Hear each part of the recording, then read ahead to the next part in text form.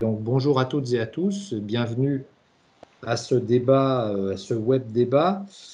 Euh, bonjour euh, Madame Grandjean, donc avec votre collègue de, La République En Marche, Charlotte Parmentier-Lecoq, qui est députée du Nord et vous, vous êtes députée de la Meurthe-et-Moselle. Vous avez donc fait cette proposition de loi pour renforcer la prévention en santé au travail qui a été votée par l'Assemblée nationale en première instance le 17 février dernier et qui est actuellement en examen par la Commission des affaires sociales au Donc moi, je suis François Derriot, je suis rédacteur en chef euh, du magazine Santé et Travail, et avec ma consoeur Joël Marasquin, que vous apercevrez tout à l'heure, euh, nous avons donc cette lourde tâche d'animer ce débat. Alors je dis lourde tâche parce qu'il y a au moins trois raisons. D'une part, parce que c'est une première, ça fait 30 ans que Santé et Travail existe. J'ai animé, nous avons animé des quantités de débats euh, dans les salles les plus improbables, mais c'est la première fois qu'on le fait à travers une web conférence.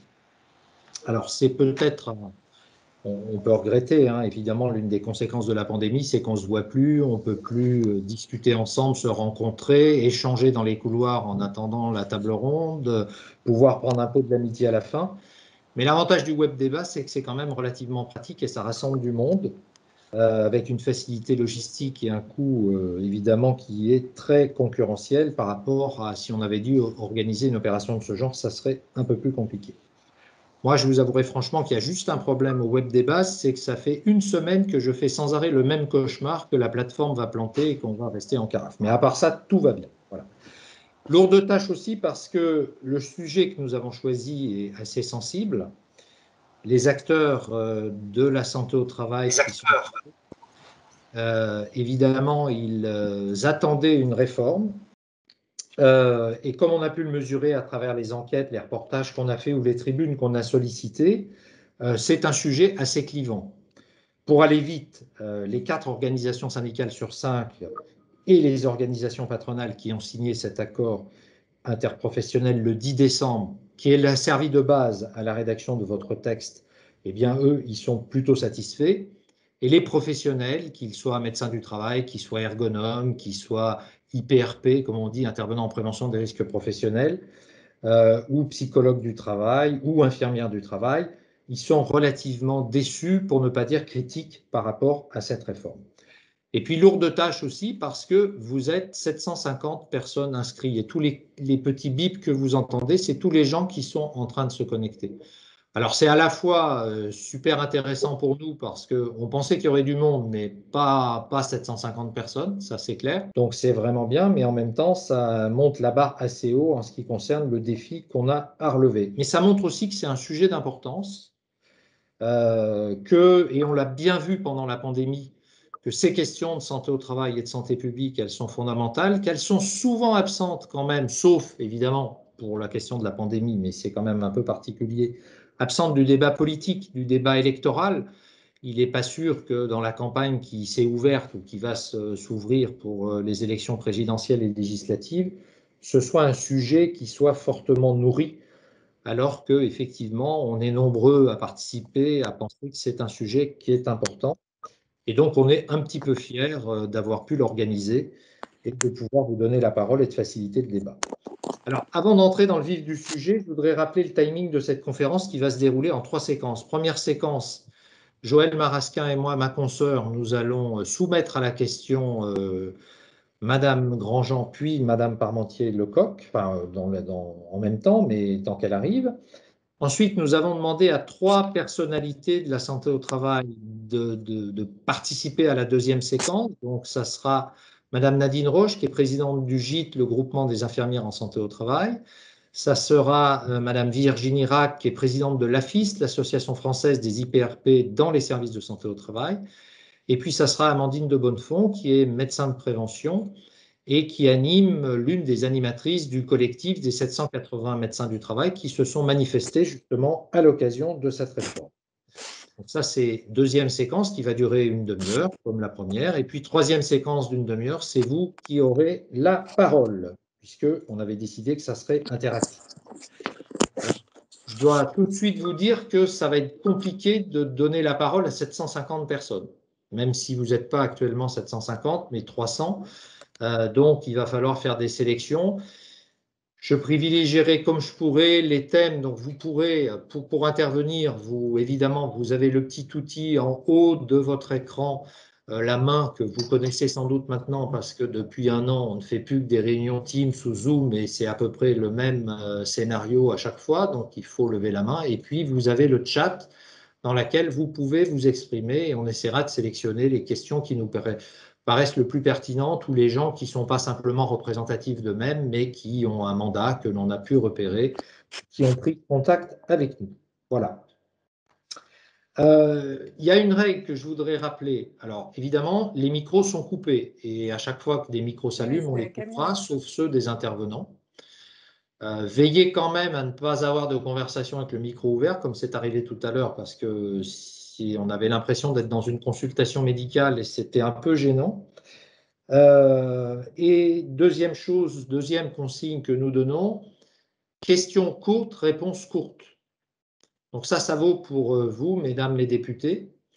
On limite les réponses à trois minutes et les questions à une minute. Et pour euh, ce qui concerne les trois intervenantes de la séquence du milieu, ça sera limité à deux minutes. Donc on sera assez sévère et on a un outil qui est assez facile, c'est qu'on coupe le micro. Voilà. Ça, c'est plus facile que quand on est dans une grande salle où il faut courir après le micro. alors voilà le préambule que je voulais rappeler. Donc pour commencer, je vais d'abord, alors j'avais prévu de m'adresser à Charlotte Lecoq, mais elle nous rejoindra, mais je vais quand même vous poser la, question à vous, Madame Grandjean, parce que vous êtes quand même euh, sa collègue et vous avez en plus vous êtes de, la même formation politique, La République en marche. Euh, il y a trois ans, il y avait un rapport qui a été rédigé par Madame Lecoq. Vous n'y avez pas participé, mais je sais que vous le connaissez bien. Et ce rapport, il avait un certain nombre d'ambitions, et notamment euh, sur un sujet qui était quand même relativement sensible, qui est à savoir le sujet de la gouvernance des services de santé au travail, le sujet du recouvrement des cotisations, avec donc tout le monde rentré dans le même moule. C'était quelque chose qui était relativement attendu, en tout cas au moins par beaucoup de médecins du travail. Et puis finalement, à la sortie, euh, bon, le patronat a dit clairement qu'il n'en voulait pas. Et il y a eu un premier échec des négociations sur ce sujet. Et puis ensuite, il y a eu plein de rapports qui sont sortis qui ont dit plus ou moins, bon, on peut se passer de, cette, de ce truc-là, si vous me permettez cette expression. Et puis, donc, on arrive à cet accord national interprofessionnel et à ce projet de loi, évidemment, où cette question est totalement absente. Alors, est-ce que euh, est-ce que ce n'est pas un enterrement de première classe par rapport à une réforme qui était quand même assez souhaitée Sachant que même du côté des pouvoirs publics, et je m'en arrêterai là, il y avait quand même aussi une attente, et quand on discute en off, comme nous, l'avons fait assez souvent avec le ministère du Travail, avec un certain nombre de ses dirigeants ou avec des politiques, ils nous disaient quand même, on met beaucoup d'argent dans la médecine du travail, on ne sait pas trop où ça passe, et il y aurait besoin d'assainir tout ça, et c'était un peu le but euh, qui avait, d'ailleurs, qui transparaît très clairement dans le rapport de votre collègue, Madame Lecoq. Donc, qu'est-ce que vous en pensez? Et puis, on posera la même question à Charlotte Lecoq quand elle arrivera. Voilà. Bonjour à tous. En tout cas, je, tiens euh, à associer Charlotte Parmentier-Lecoq qui, est connectée euh, effectivement dans les trajets, donc avec un peu de difficulté à prendre la parole, mais qui, je pense, rebondira euh, sur, mes propos. je tiens à l'associer pour vous remercier de cette invitation, de ce temps d'échange qui nous paraît être extrêmement important, qui est un temps, euh, évidemment, d'ailleurs, le, volume, le nombre de personnes présentes le, démontre, c'est qu'effectivement, euh, je crois qu'il y, a besoin d'avoir du temps de, partage sur euh, la réforme qui a été engagée, puisqu'elle poursuit maintenant son chemin au Sénat. on est évidemment euh, très consciente du chemin qui a été parcouru, du chemin qu'il reste à, parcourir, euh, très humble également, euh, si je puis le dire, hein, sur l'énormité du chantier, hein, santé au travail. On est au cœur d'une politique publique qui, je crois, est exceptionnelle en France, et il faut le dire, il faut le redire. Voilà, on peut être fier du système de santé au travail en France. On a, et vous en êtes témoin, la représentation de cela euh, énormément d'experts avec euh, de, vraies compétences euh, sur lesquelles on peut euh, effectivement asseoir des politiques publiques efficaces et, je crois que euh, c'est là déjà euh, une grande richesse qui a été très largement évoquée, soutenue, valorisée dans les rapports de Charlotte Parmentier-Lecoq, qui en a donc fait deux, hein, puisqu'elle en a également rédigé un sur la fonction publique. Le, contexte dans lequel on, on s'est inscrit, il faut le rappeler, il était la, suite de ces deux euh, rapports euh, rédigés euh, notamment par Charlotte Parmentier-Lecoq, mais également dans le contexte d'une crise Covid qui a mis aussi en valeur un certain nombre de besoins, de difficultés qui se sont révélées voilà, encore plus fortes. Et je pense par exemple aux fermetures de certains centres de médecine du travail et aux demandes de chômage partiel euh, par 25% d'entre eux. Euh, et donc, on était euh, sur, ce contexte-là, à la fois convaincu Charlotte Parmentier-Lecoq et moi-même d'un besoin d'engager une réforme et également une vraie volonté de respecter le dialogue social qui reprenait sur ce sujet, puisque, je le rappelle, hein, il y avait eu un échec des négociations en 2019 et donc les partenaires sociaux reprenaient le chemin des négociations sur ce sujet éminemment important dont on a vu euh, je veux dire, l'ampleur, où les citoyens dans leur ensemble ont vu l'ampleur. Alors, euh, juste pour rebondir euh, sur vos propos, Monsieur Desrio, je pense quand même que les, que les citoyens ont, même s'ils n'ont pas forcément les mêmes termes techniques ou les mêmes, voilà, la même connaissance de l'organisation de nos systèmes de santé au travail, ils ont une vraie volonté qu'on parle euh, de leur bien vivre au travail, des conditions de travail, de la qualité de vie au travail, de leur santé euh, de manière générale et de leur santé au travail. Et donc, même si ce n'est pas forcément un débat technique en tant que tel euh, dans nos euh, discussions politiques ou dans les projets de campagne euh, divers et variés, je crois que c'est un sujet que les Français veulent entendre comme un de nos sujets de préoccupation. En tout cas, nous en sommes persuadés.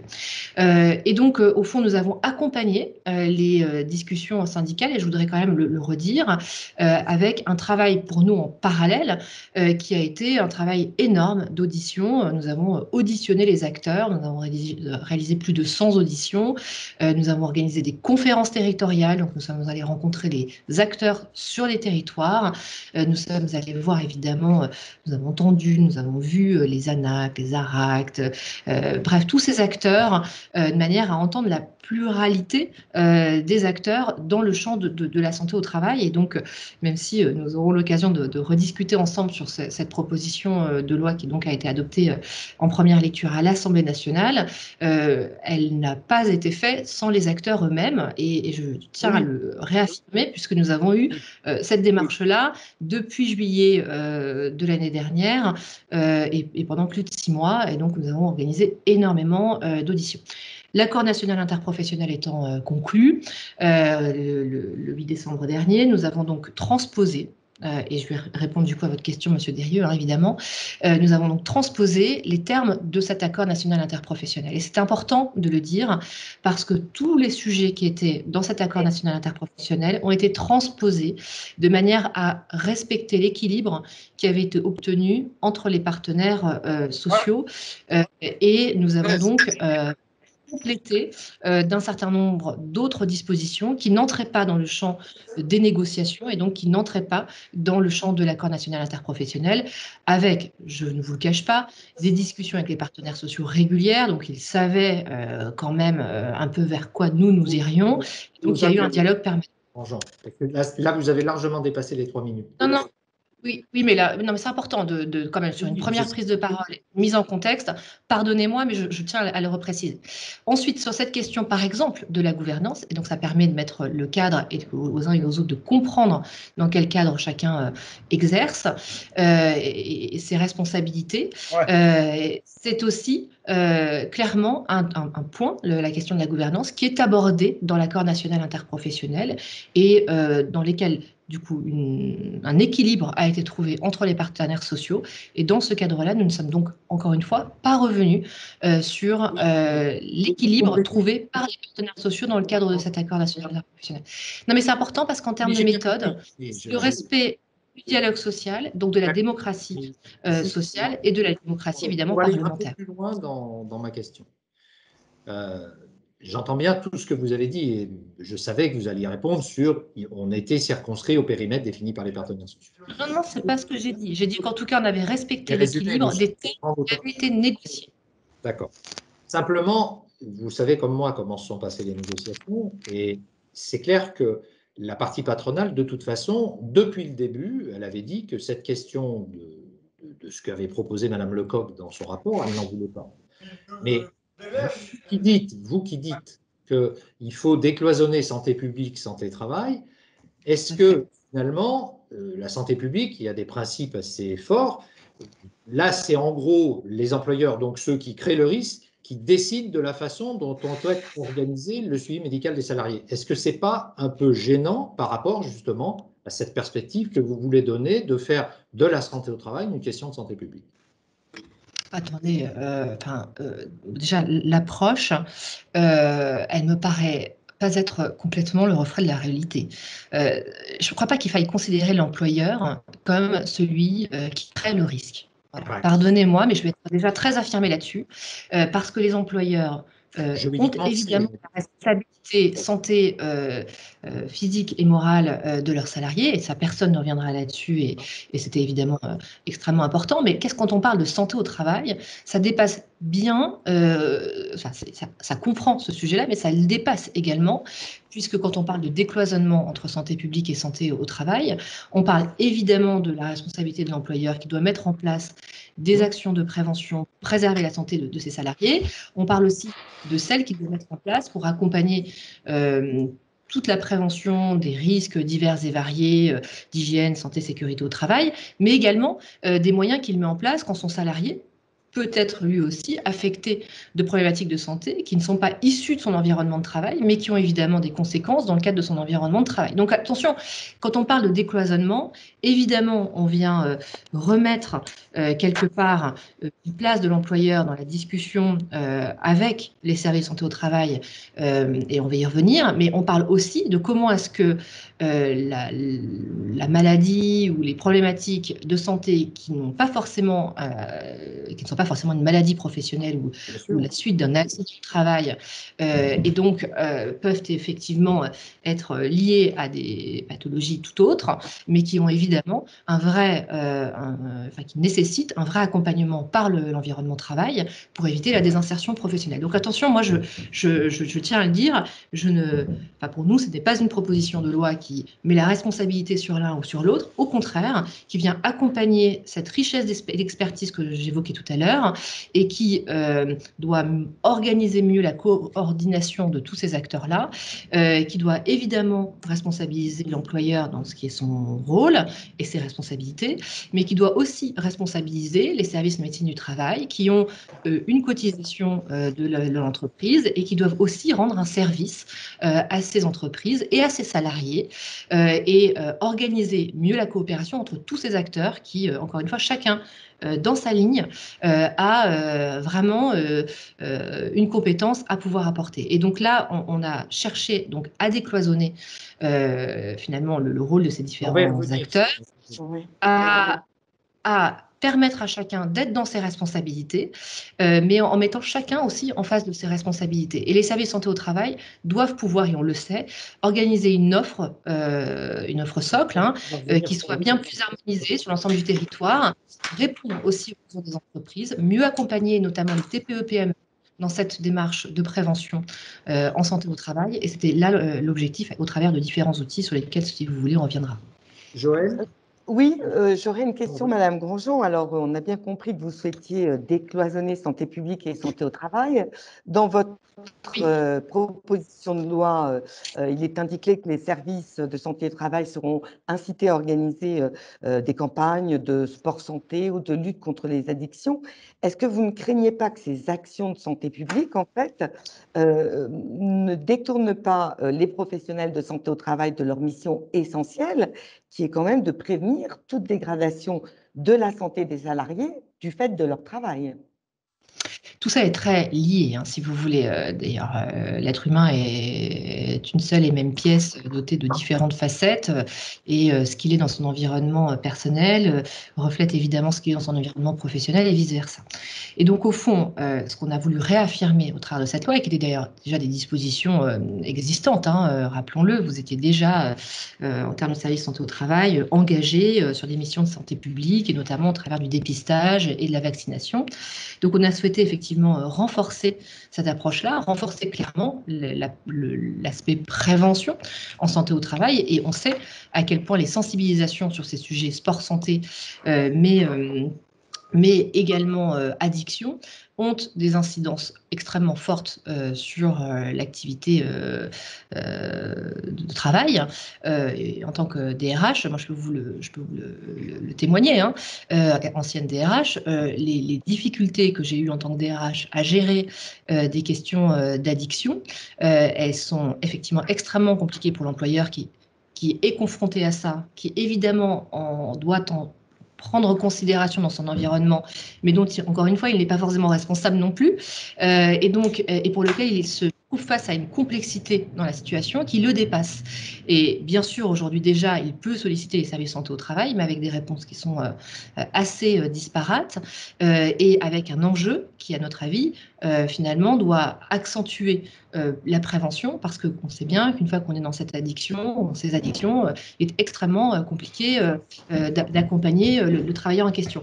Et la question des addictions, c'est un sujet que les employeurs nous, ont très largement partagé, parce qu'il y a une grande détresse des, employeurs à gérer la question des addictions. Donc, évidemment, on a besoin de cette équipe pluridisciplinaire. Moi, j'insiste beaucoup sur la pluridisciplinarité. On a voulu vraiment, avec Charles Parmentier-Lecoq, travailler euh, sur cette euh, pluridisciplinarité pour répondre évidemment aux enjeux de démographie, mais aussi euh, pour répondre à un besoin de réponse ajusté, adapté aux différentes situations et, de plus en plus orienté vers euh, l'entreprise et le terrain. Et donc c'est euh, en ce sens-là que pour nous, effectivement, la place des services santé au travail sont évidemment euh, dans un renforcement de la prévention. Et renforcer la prévention, c'est évidemment passer des messages forts sur le sport santé, sur la, lutte contre les addictions, sur la prévention, les dépistages. Et nous en sommes absolument convaincus. ça doit être encore plus euh, au cœur des missions euh, qui vous sont confiées. Alors, Madame Grandjean, moi je voudrais revenir sur la prévention. Hein. alors, parce que vous avez, enfin, la proposition de loi instaure un passeport prévention hein, qui liste pour tous les salariés les formations suivies en matière de sécurité et de prévention des risques professionnels. Mais certains se sont posé la question de savoir si ce passeport de prévention ne risquait pas, en fait, de transférer la responsabilité d'une éventuelle atteinte à la santé des salariés sur les salariés eux-mêmes et, il y aurait un dédouanement en fait de la responsabilité des employeurs. Qu'est-ce que vous pouvez répondre à, à, cette question qui a pu être soulevée en fait? Alors, le passeport prévention, ce n'est plus moins un outil. Hein. L'outil, euh, j'ai envie de dire, on en fait euh, euh, plein de choses. et moi, en tout cas, et nous, nous considérons comme un outil qui a été proposé par les partenaires sociaux et qui va dans le bon sens parce qu'il permet, en fait, une meilleure visibilité sur les formations qui ont été réalisées, d'aller plus loin aussi sur certaines formations, parce que du coup, comme le bagage peut être déjà consolidé sur certaines formations, on peut aller plus loin. et là aussi, la pratique de l'entreprise peut vous démontrer à quel point régulièrement refaire des formations à des salariés euh, qui euh, ont déjà fait les formations, mais qui ne peuvent pas le justifier, et donc qui sont agacés de retourner à certaines formations. Et en même temps, vous, en tant qu'employeur, vous devez le faire puisque vous devez justifier euh, de la réalisation de ces, de, de, ces, formations en question. Donc, le, passeport prévention qu'on a voulu et qu'on a monté en charge hein, au fur et à mesure de nos discussions parlementaires n'est ni plus ni moins qu'un outil qui permet de mettre en, en enregistrement finalement les, formations en question, qui sera alimentée euh, par l'employeur, par le salarié, par les organismes de formation agréés également, de manière à ce que soient enregistrées euh, les formations en question et que le salarié ne soit pas euh, contraint à refaire des formations qu'il a déjà fait, ou mieux encore, qu'il puisse aller aux autres niveaux de formation plutôt que de refaire des formations de base qu'il a déjà réalisées.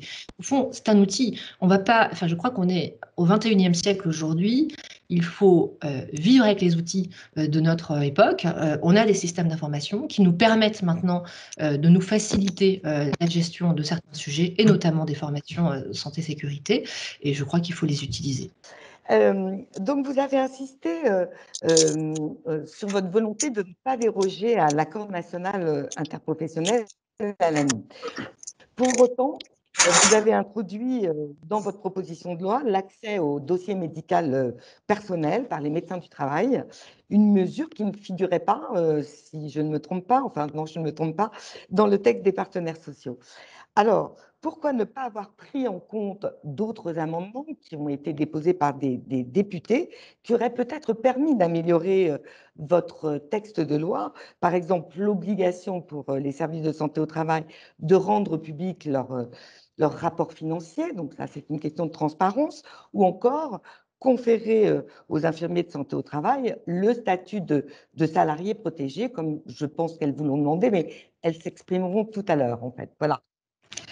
Alors, euh, là, vous voyez, c'est d'où l'introduction que j'ai fait tout à l'heure qui me paraît du coup être d'autant plus, euh, voilà, elle était utile, euh, cette introduction. Alors, encore une fois, hein, un accord national interprofessionnel, ça a de la valeur. Et je pense que dans un fonctionnement de société, il faut quand même le rappeler, euh, ça a de la valeur. Vous avez des représentants de salariés, des représentants d'entrepreneurs. Et donc, euh, pour nous, il était important de respecter un processus démocratique aussi, de, l'équilibre entre la démocratie sociale et la démocratie parlementaire. Et ça peut paraître pour certains peut-être... Euh, surfait, mais en tout cas pour nous, euh, ça donne beaucoup de sens dans un fonctionnement de société qui doit s'écouter. Euh, et donc on a vraiment euh, souhaité effectivement respecter, et c'est ce que j'ai dit, et c'est ce que je redis, l'équilibre qui a été trouvé dans le, cadre de cet accord national interprofessionnel sur les dispositions qui ont été discutées et négociées. dans l'accord national interprofessionnel, vous l'avez dit, il n'y avait pas d'évocation de ce dossier médical euh, partagé. Et euh, nous avons toujours euh, annoncé avec ma collègue Charlotte Parmentier-Lecoq la volonté pour nous d'avancer sur un certain nombre de sujets qui, s'ils n'étaient pas abordés dans le cadre de discussions et des négociations et donc dans le cadre d'un accord, nous nous donnerions la liberté d'avancer dessus. Et cette question de dossier médical partagé, il vient euh, très clairement euh, renforcer la question du décloisonnement entre santé euh, au travail et, santé publique. Il vient utiliser, s'asseoir sur des outils qui existent, qui nécessitaient et on l'a fait d'ailleurs, des sécurisations dans leur utilisation. Néanmoins, nous, on a un grand respect euh, pour ce qui est le médecin euh, du travail et il nous semble que le médecin du travail euh, doit pouvoir accéder aux données du dossier médical partagé, travailler avec, organiser une meilleure coopération avec les acteurs de la santé. Euh, public. Pardon. Et donc, oui, ça a été pour nous un, sujet sur lequel on a eu de, de nombreuses discussions avec, avec le Conseil d'État, puisqu'on a voulu sécuriser cette, cette disposition, assurer aussi toutes les sécurités pour chacun. Et donc, vraiment, voilà, on a voulu avancer dans le cadre respectueux des libertés individuelles, du respect de la confidentialité, de la transparence aussi vis-à-vis -vis des salariés et euh, de la protection vis-à-vis de son employeur. Et toutes ces données-là, elles ont été euh, évidemment largement euh, réfléchies, travaillées déjà nous en amont, travaillées également avec le Conseil d'État, retravaillées encore avec les collègues à l'Assemblée nationale, de tous bords. Je pense que vous avez pu le constater d'ailleurs, les amendements qui ont été abordés, adoptés pardon, dans le cadre de cette proposition de loi sont issus de tous les bancs de l'Assemblée nationale. Et ça a été vraiment une démarche que nous avons eue extrêmement volontariste, que ce soit une proposition de loi co-construite, construite avec l'ensemble des euh, partis politiques de manière tout à fait transpartisane. Et donc, on a voulu aller plus loin sur notamment euh, la création du statut de médecin praticien correspondant, sur euh, la place du médecin du travail dans les CPTS, le développement de la télémédecine. Au fond, tous ces outils-là concourent pour nous au décloisonnement et, s'appuient sur la confiance qu'on a dans les médecins du travail et leur expertise qui pour nous est extrêmement précieuse et qui doit être au cœur finalement d'un système satellite euh, qui euh, s'organise euh, derrière avec une équipe pluridisciplinaire et c'était pour nous extrêmement important. Alors ensuite, vous l'avez dit, nous ne sommes pas revenus sur ce statut de l'infirmier protégé, ça rouvrira un autre champ complètement au-delà de notre proposition de loi et des sujets que nous avions abordés, mais nous avons souhaité sanctuariser, si je puis me permettre l'expression qui est peut-être pas très heureuse, mais sanctuariser le tiers-temps du médecin du travail pour vraiment réaffirmer ce tiers-temps et réaffirmer la place du terrain dans sa pratique professionnelle. et nous avons souhaité surtout réaffirmer l'organisation pluridisciplinaire avec des appuis, des infirmiers en pratique avancée, la place désormais des ergothérapeutes, des kinésithérapeutes, renforcer cette équipe pluridisciplinaire pour que euh, vraiment euh, l'organisation qui, qui, se, qui se construit autour de ce médecin euh, du travail soit le plus efficace possible et le plus tourné autour de l'accompagnement des entreprises. Alors, attendez, attendez. J'ai oublié des, choses que vous m'avez dit, mais. Est-ce que, Madame Lecoq, vous êtes avec nous? Oui, bonjour à tous. Bonjour. Euh, bonjour à tous. Merci beaucoup, Monsieur Derriot, de, votre invitation. Et, merci aux intervenants euh, de nous accorder euh, à, Carole Grandjean et moi ce, temps et la, préparation que vous avez pu mener pour pouvoir faire de ce temps un temps d'échange assez riche. Merci aux participants aussi d'être présents. Je vous prie de m'excuser pour mon, mon, retard et mon atterrissage un peu un peu en cours de route, vous connaissez euh, la vie euh, trépidante des parlementaires qui ne savent jamais exactement quand ils démarrent et finissent euh, une séquence. Je sais que vous aviez des amendements déposés sur un texte. C'est ça, voilà, sur, ah. justement sur les pompiers pour lesquels nous avons œuvré pour leur sécurité au travail, voyez-vous. ce matin. Je ne vais pas vous demander de reprendre ce qu'a dit Madame Grandjean. Je, savais que vous étiez en, bonne main avec ma collègue Carole Grandjean. J'ai quand même pu écouter l'ensemble de, vos échanges. Une dernière question rapidement. Oui, oui. Pourquoi, enfin, je vais la formuler comme ça, tous les établissements médicaux ou médico-sociaux, que ce soit les cliniques, les hôpitaux, les, les ESAT, les EHPAD, etc., sont dirigés, c'est des professions réglementées. C'est-à-dire pour diriger un établissement comme ça, il faut avoir une formation particulière, spécifique, sauf une, les services de santé au travail. Est-ce que vous ne pensez pas que ça serait bien de changer ça et pourquoi ça ne serait pas dans votre texte? Bah, Écoutez, euh, je, peux vous dire en euh, trois ans euh, de travail sur le sujet et avec toutes les auditions, conférences territoriales que Carole Grandjean a rappelées tout à l'heure, jamais mais alors, au grand jamais, jamais on vous a, parlé cette proposition arriver sur la table, sauf si j'ai un trou de mémoire, Carole mais je ne crois pas. D'accord. Vous savez, on a essayé vraiment d'écouter toutes les propositions, mais alors celle-là n'est jamais, jamais venue sur la table. Très bien. Bah, c'est une proposition. Comme on avait quand même fort à faire et beaucoup de pain sur la planche, on s'est concentré sur ce qui était euh, plus attendu par les, par les partenaires. D'accord. Et ça ne vous paraîtrait pas nécessaire? Voilà, bah, Je ne vais pas vous répondre euh, en deux secondes comme ça. Je pense que c'est peut-être une question qu'il faudrait expertiser, oui. Et j'ai une dernière question, puis après on passera à la séquence numéro 2, et à ce moment-là, c'est vous qui aurez une priorité de parole, Madame Lecoq. Dans, dans, dans, le texte, on sait, dans les négociations de l'ANI, il y a quand même eu une forte pression euh, du côté patronal, mais pas de tout le côté patronal d'ailleurs, euh, sur la question de l'obligation de sécurité. Euh, sur laquelle beaucoup voulaient revenir un peu en arrière par rapport à vous savez, à cette évolution qu'il y a eu à partir de l'affaire de l'amiante et des arrêts de, la Cour de cassation de, 2002. Et euh, je, vous lis la phrase qui figure dans l'accord. Euh, je ne sais plus où elle est, mais on pourra retrouver le paragraphe. Euh, je la retrouve. Pour rappel, la jurisprudence a admis qu'un employeur et ses délégataires pouvaient être considérés comme ayant rempli leurs obligations s'ils avaient mis en œuvre les actions de prévention c'est déjà un peu en deçà de ce que dit effectivement la jurisprudence, puisque la, toute dernière jurisprudence qui est inscrite dans le, ce qu'on appelle le préjudice d'anxiété parle d'avoir mis en œuvre l'ensemble des principes de prévention définis par le Code du travail, comme vous le savez. Et vous, dans le texte que vous avez repris, vous avez repris exactement la même phrase dans le préambule, mais vous n'avez pas mis les actions de prévention, mais des actions de prévention. Ce qui est quand même plus restrictif, c'est-à-dire moins évident parce que n'importe qui peut mettre en œuvre des actions de prévention, mais pas toutes les actions de prévention qui sont indispensables. Donc, est-ce que par rapport à un texte dont l'ambition est de renforcer la prévention de la santé au travail, est-ce que c'est pas un peu gênant? Est-ce que ça va pas dans le mauvais sens? Est-ce que ça donne pas un mauvais signal? Écoutez, je crois vraiment à l'inverse que notre proposition de loi met complètement la prévention et, la prévention primaire au cœur du dispositif de santé au travail, réaffirme pleinement d'ailleurs le rôle du document unique auquel on adjoint la réalisation d'un plan d'action, ce qui n'était pas le cas auparavant, et donc ce qui amène à véritablement devoir euh, faire un, vrai outil managérial en fait de, de, ce document unique.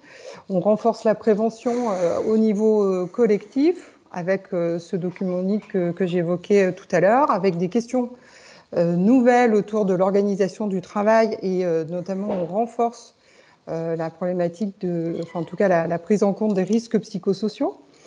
Dans, dans, cette proposition de loi et on renforce également la prévention euh, au niveau de l'individu lui-même, avec euh, les différents outils euh, que, vous connaissez, notamment avec la visite de mi-carrière, qui va être un outil extrêmement important en matière de prévention de la désinsertion professionnelle.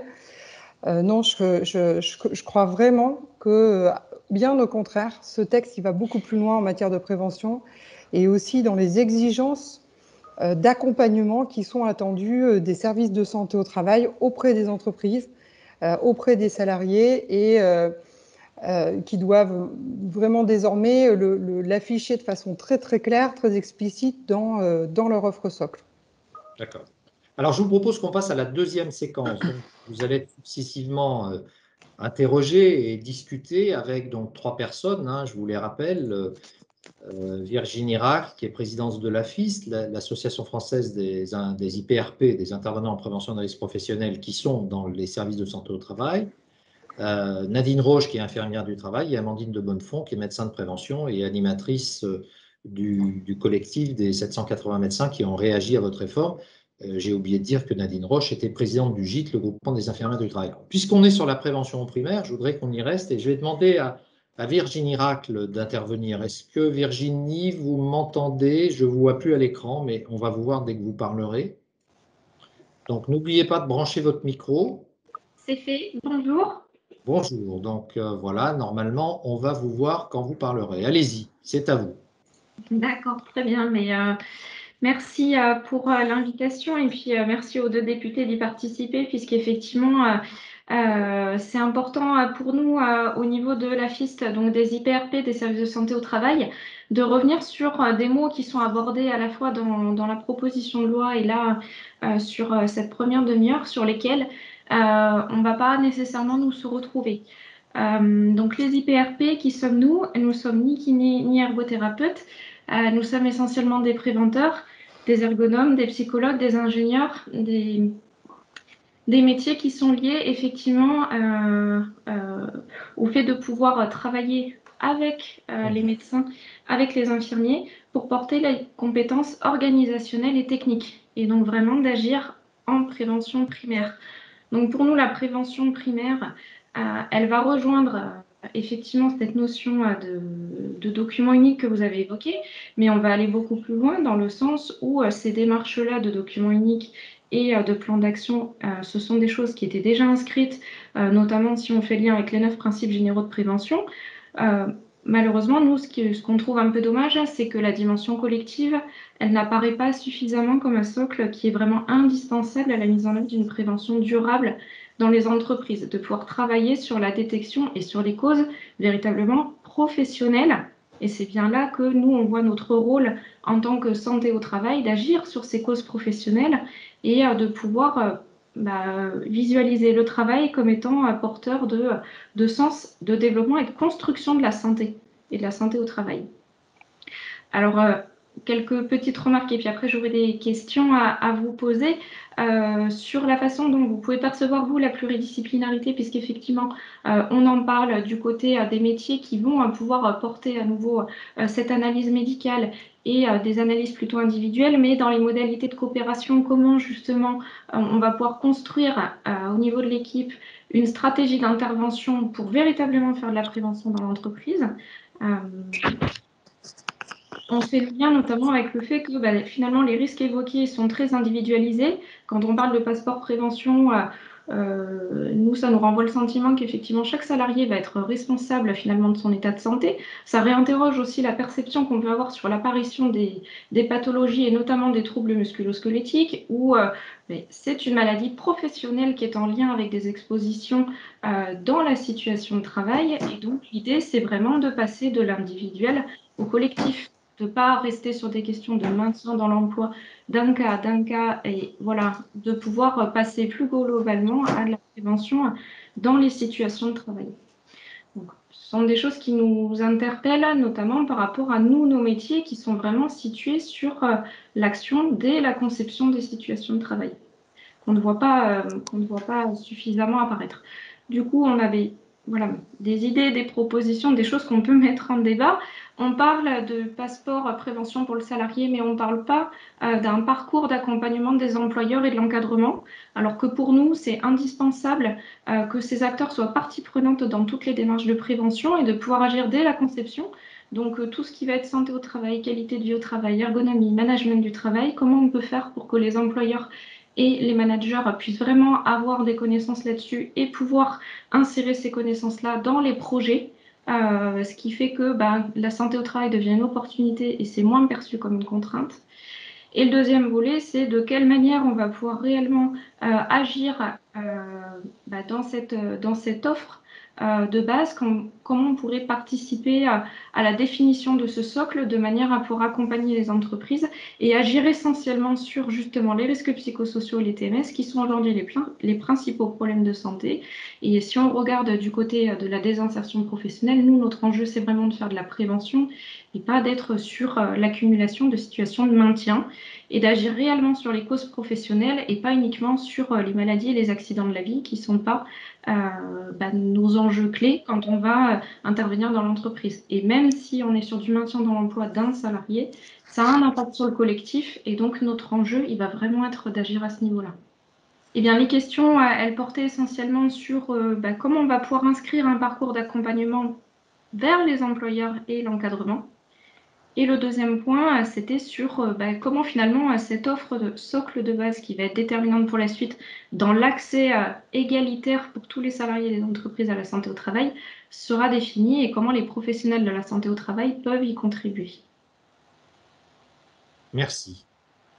Alors, on vous donne la parole, Charlotte, parce que, comme on dit à la télé, vous avez un temps de retard sur la prise de le temps de parole par rapport à Madame Merci, beaucoup, mais en réalité, euh, on, parle d'une seule voix, vous savez, avec ma collègue Carole Grandjean.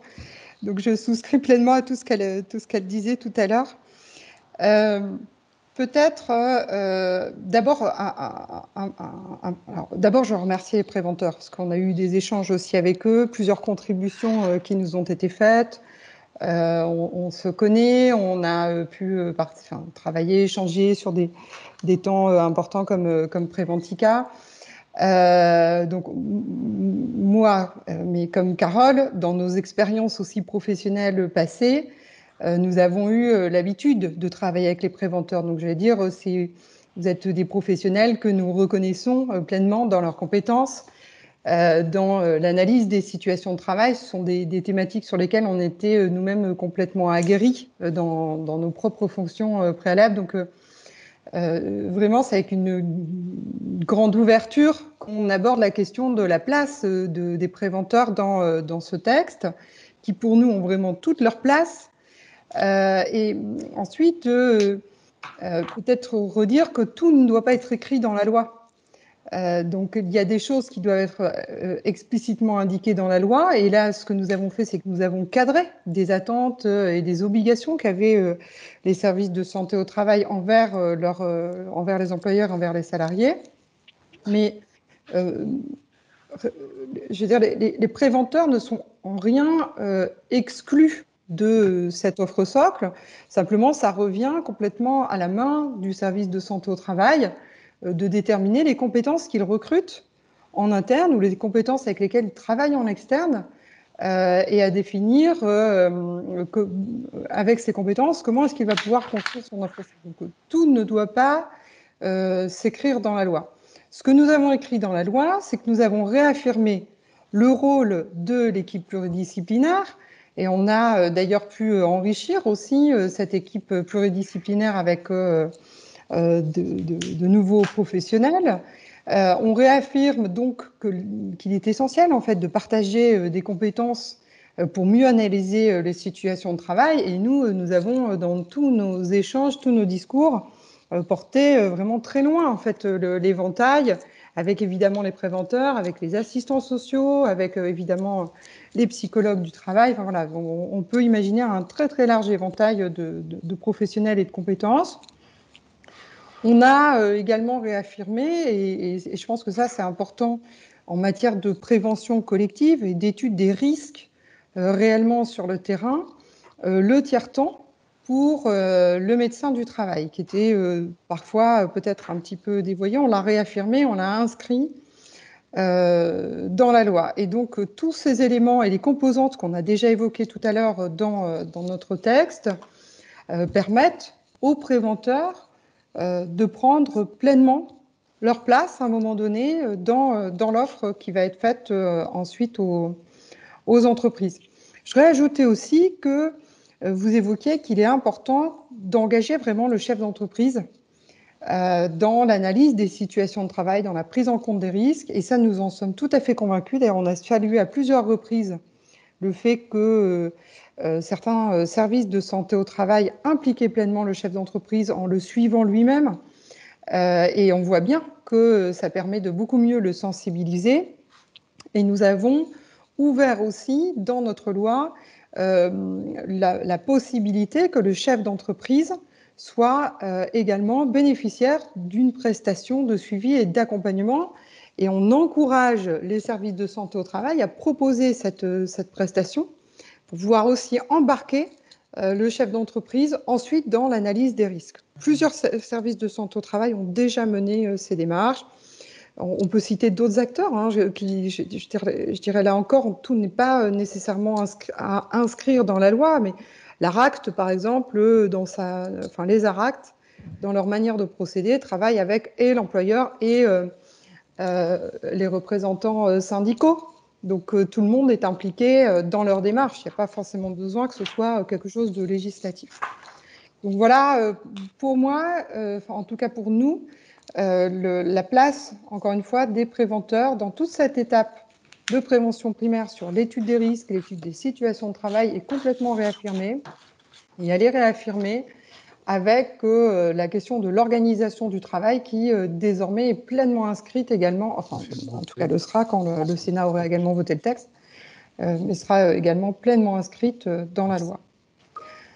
Juste, juste pour compléter, on a vraiment plus par la loi, ce qui n'est pas euh, anodin, remis la place euh, du directeur du service prévention santé au travail pour qu'il puisse aussi euh, et qu'il doit aussi mettre les moyens et notamment les moyens humains en face de, son projet de service, remis aussi la place du médecin du travail au cœur d'une organisation satellite pluridisciplinaire comme Charlotte Lecoq-Parmentier vient de le rappeler, et on a réaffirmé, et je crois qu'il faut quand même le souligner, réaffirmé la place du DUER avec bah, sans notion de seuil et, avec effectivement là un enjeu pour nous essentiel du diagnostic et du plan d'action euh, et pour lequel les préventeurs vont avoir un rôle euh, majeur et je, voilà, je me permets de le redire parce que ça a été un vrai sujet euh, de discussion et qui est pour nous essentiel. S'il n'y a pas de diagnostic dans les entreprises, s'il n'y a pas de plan d'action, c'est le cœur même de l'action en prévention en santé au travail qui, qui ne, qui ne, qui ne s'active pas. Et donc,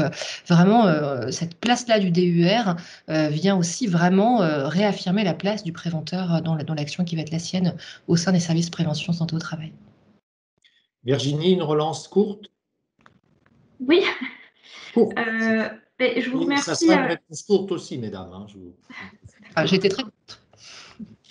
oui, je vous remercie. je vous remercie pour ces, pour ces réponses. Peut-être qu'une autre, une autre manière de vous, de, de partager avec vous les, les interrogations qu'on peut avoir justement en tant que préventeur, c'est sur le volet de la prévention de la désinsertion professionnelle, où effectivement, quand on regarde du côté des propositions, euh, il n'est pas question de dire qu'elles sont, pas, qu'elles sont pas valables, absolument pas. C'est plus forcément que nous, on va plutôt se dire qu'elles ne sont pas suffisantes au sens que la visite de mi-carrière, euh, le maintien dans l'emploi sur des aménagements de situation, oui, ça va être important pour, effectivement. Par contre, on ne peut pas s'en tenir à ça. On ne peut pas s'en tenir à maintenir dans l'emploi une personne. Si on prend des secteurs comme les EHPAD ou la grande distribution, on sait que ce sont des postes qui sont pourvoyeurs d'inaptitude, qui sont pourvoyeurs de désinsertion professionnelle. Ce n'est pas uniquement lié à l'âge, ce n'est pas des accidents de la vie, il y a aussi des situations de travail sur lesquelles nous, on aimerait pouvoir être force de proposition euh, dès la conception de l'organisation de travail dans l'EHPAD ou dès la conception des lignes de caisse. Parce que tant qu'on ne fera pas ça, pour nous, on n'aura pas le sentiment d'agir réellement en prévention primaire et de faire que du correctif individuel. Voilà. Mais Sur la question, pardon, vas-y, vas-y. oui, mais est-ce que, est que votre loi, pour compléter ce que dit Madame Rack, est-ce que votre loi favorise exactement l'exemple qu'elle vient de dire? Euh, exactement. Alors, je me permets juste de répondre du coup. Euh, effectivement, je le redis, euh, la place qu'on a mis notamment au, au DUR, au plan d'action qui va devoir être fait donc toutes les entreprises, quelle que soit leur taille, me paraît être essentiel parce qu'il va devoir y avoir un énorme travail avec vous euh, et avec euh, les secteurs d'activité, les branches, parce qu'il va falloir les accompagner dans la réalisation de ce DURP et donc il va y avoir de vraies questions qui vont se poser. Et vous parliez par exemple du secteur de, euh, de, l'accompagnement d'autonomie, mais je pense à l'aide au domicile, enfin moi je connais bien aussi des secteurs difficiles de la restauration de collectivité, enfin tous ces secteurs-là qui sont des secteurs d'activité dont on connaît, euh, l'exposition au risque, hein, euh, voilà, pour aller euh, rapidement, vont devoir vraiment travailler au niveau de la branche voilà, je ne vais pas vous cacher, je pense qu'il y a des négociations de branches qui doivent pouvoir s'engager et votre place, elle est effectivement dans ces discussions-là pour apporter une expertise, un regard pour renforcer de la prévention sur, sur ces actions. Je voudrais juste dire qu'au-delà de l'entretien de mi-carrière qui a toute sa place dans, le, dans, la, dans la lutte contre la désinsertion professionnelle, moi je voudrais aussi valoriser la cellule de prévention pluridisciplinaire dans laquelle vous avez évidemment euh, et grand, grand, grand oui, toute votre place, euh, mais également le rendez-vous euh, de liaison qu'on a renommé parce que dans les discussions, il pouvait prêter à confusion. Le rendez-vous de liaison, qu'est-ce? C'est je suis en arrêt maladie, donc je suis en, en, suspension de contrat vis-à-vis -vis de mon employeur. Je suis donc informé par mon employeur de la possibilité que j'ai de solliciter un rendez-vous pour organiser le cadre d'une rencontre avec mon employeur, le service santé au travail, et pouvoir anticiper un éventuel retour à l'emploi euh, dans des conditions qui sont euh, améliorées par rapport à l'existant. Et l'anticipation, on sait que c'est une clé. On sait aussi que la, durée de l'arrêt maladie est un vrai levier de désinsertion professionnelle. Et donc là aussi, euh, on compte vraiment beaucoup sur cette action pluridisciplinaire pour accompagner le retour à l'emploi dans de meilleures conditions, qu'il soit, enfin que la maladie soit issue ou pas de l'environnement professionnel, mais on sait à quel point vous avez un rôle à jouer dans cette accompagnement euh, de la réinsertion et, de la lutte contre la désinsertion euh, professionnelle et de la lutte contre l'inaptitude euh, que voilà, j'ai très souvent eu à déplorer et à accompagner en, tant qu'ex-ODRH et je sais à quel point vous avez un rôle à jouer pour accompagner l'employeur que j'ai été pour mieux faciliter la réinsertion professionnelle. Alors, je vais passer la parole. Non, je vais passer la parole maintenant à, Nadine Roche, présidente du groupement des infirmières en santé au travail, parce qu'on a parlé tout à l'heure du statut des infirmières. Euh, on aurait pu aussi parler du statut d'indépendance qui était réclamé, je crois, par l'ensemble des intervenants en prévention des risques professionnels et qui n'est pas à l'ordre du jour et qui peut-être pose problème. Donc, euh, Nadine Roche, c'est à vous. Question courte. Et là, maintenant, il va falloir vraiment faire des réponses courtes parce que sinon, on va vous obliger à rester très, très tard. bonjour, merci pour cette invitation et puis merci aux deux députés d'être présents. Alors, le groupement des infirmiers, nous, avons, euh, connaissons l'importance et l'enjeu de ce projet. C'est pour ça que nous essayons d'être présents et de défendre au mieux les intérêts des infirmiers de santé au travail. Alors, au vu des commentaires que j'ai lus euh, ces, derniers, euh, ces dernières semaines, quant, à ce débat, j'ai quand même vu, j'ai pu lire l'inquiétude très nette de mes collègues infirmiers sur leur avenir. Alors la question que je vous pose est la suivante. comment les infirmiers de santé au travail peuvent-ils s'intégrer dans ce futur projet de loi si, tout d'abord, la reconnaissance de leur spécialité n'est pas inscrite dans la loi, que nous n'avons pas un périmètre qui est, bien déterminé, que la formation universitaire n'est toujours pas vraiment obligatoire et qu'il n'y a aucune homogénéité ni égalitaire. Et dernièrement, la dernière euh, question, c'est aussi par rapport tout à fait à ce statut de salarié. Aujourd'hui, depuis la, dernière réforme, il y a eu énormément de glissements de tâches et vous avez énormément d'infirmiers en santé au travail qui exercent euh, dans des services de santé au travail ou de façon autonome, sans filet de sécurité, qui sont à la fois euh, tiraillés entre le service de santé au travail qui leur demande des exigences et le médecin du travail et l'employeur. Voilà. Je vais répondre sur ces, sur ces aspects-là. Euh, euh, Madame Roche, on a déjà pu euh, échanger ensemble. Merci pour, pour ces questions. Vraiment réaffirmer que les infirmiers en santé au travail sont pour nous, je vais dire, une pièce maîtresse. Le terme n'est pas, pas très bien choisi, mais prennent une place vraiment importante dans notre texte. Nous avons réaffirmé la nécessité qu'il y ait une formation euh, minimum qui soit euh, obligatoire pour les IDEST, ce qui n'était pas euh, le cas auparavant.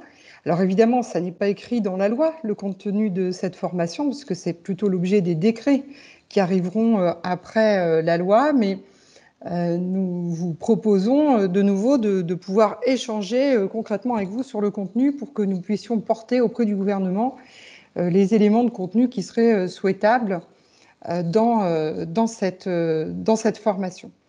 Nous avons réaffirmé aussi le rôle des infirmiers en santé au travail à travers les infirmiers en pratique avancée.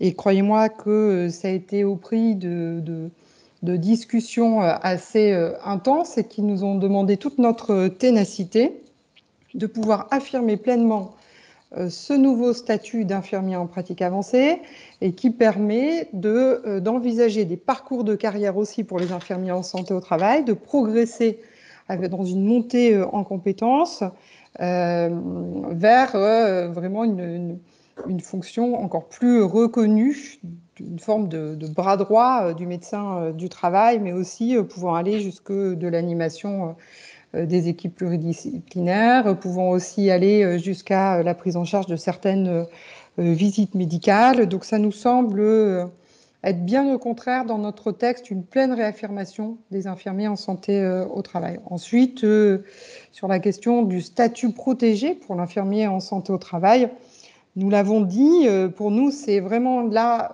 une question d'abord de dialogue social. Nous souhaitons que ce soit les employeurs, euh, les organisations patronales et syndicales euh, qui discutent et qui négocient de cela. Et peut-être que euh, demain, c'est quelque chose qui pourra évoluer, mais je pense qu'il y a déjà là sur la table des, grandes avancées, qu'il faut que les infirmiers en santé au travail puissent s'en saisir pleinement. Et là, véritablement, de notre point de vue, l'enjeu, c'est la question que vous avez soulevée, Madame Roche, de la formation euh, de cette formation socle et ensuite de, rendre effectif ce statut euh, d'infirmier en pratique avancée. Juste très très vite sur la, question de la désinsertion professionnelle, parce que j'avais quand même envie de, revenir très rapidement, simplement pour euh, rassurer Madame Rascle sur le fait que, au-delà de notre proposition de loi, il y a d'autres travaux qui sont conduits à l'Assemblée nationale sur la question de la prévention de la désinsertion professionnelle. Nous avons des collègues qui sont en train de mener une mission parlementaire sur le maintien dans l'emploi. Et c'est vraiment un, sujet qui est un peu au carrefour euh, de plusieurs thèmes, hein, qui est euh, le carrefour du grand âge, qui est au carrefour aussi euh, de la réforme de, de l'assurance chômage, qui est au carrefour aussi de la réforme des retraites. Donc c'est un sujet sur lequel nous avons véritablement envie d'avancer. On a pleinement conscience des problématiques que vous soulevez dans le grand âge. on a travaillé d'ailleurs à des, des améliorations aussi sur le champ de la prévention des TMS dans le, dans le champ du grand âge, de la valorisation des métiers et des parcours dans ce champ-là. Et nous avons attribué aussi des moyens spécifiques à la désinsertion professionnelle, puisque sur la loi de financement de la sécurité sociale, nous avons fait voter un budget pour mettre en place les plateformes de désinsertion professionnelle qui sont pilotées par les CARSAT et qui mettent en musique que les acteurs d'un même territoire euh, autour de ces problématiques. Et on voit bien qu'il y a déjà une offre très riche, mais que tout l'enjeu après, ça va être et la coordination des acteurs et l'anticipation euh, des situations. Et donc, comme le disait Carole Grandjean, la visite de mi-carrière, c'est un outil qu'il ne faut pas euh, sous-estimer, qui va, qui va avoir un rôle prépondérant en lien avec les branches pour pouvoir réfléchir sur euh, les, parcours professionnels et l'usure professionnelle qu'il peut y avoir dans certaines branches professionnelles. Voilà, je fais vite, vite, vite. Hein. Je, voudrais. Nadine Roche, une question de relance, mais courte, parce qu'on est vraiment très, très en retard. Ben, je voudrais juste revenir sur le dossier médical partagé.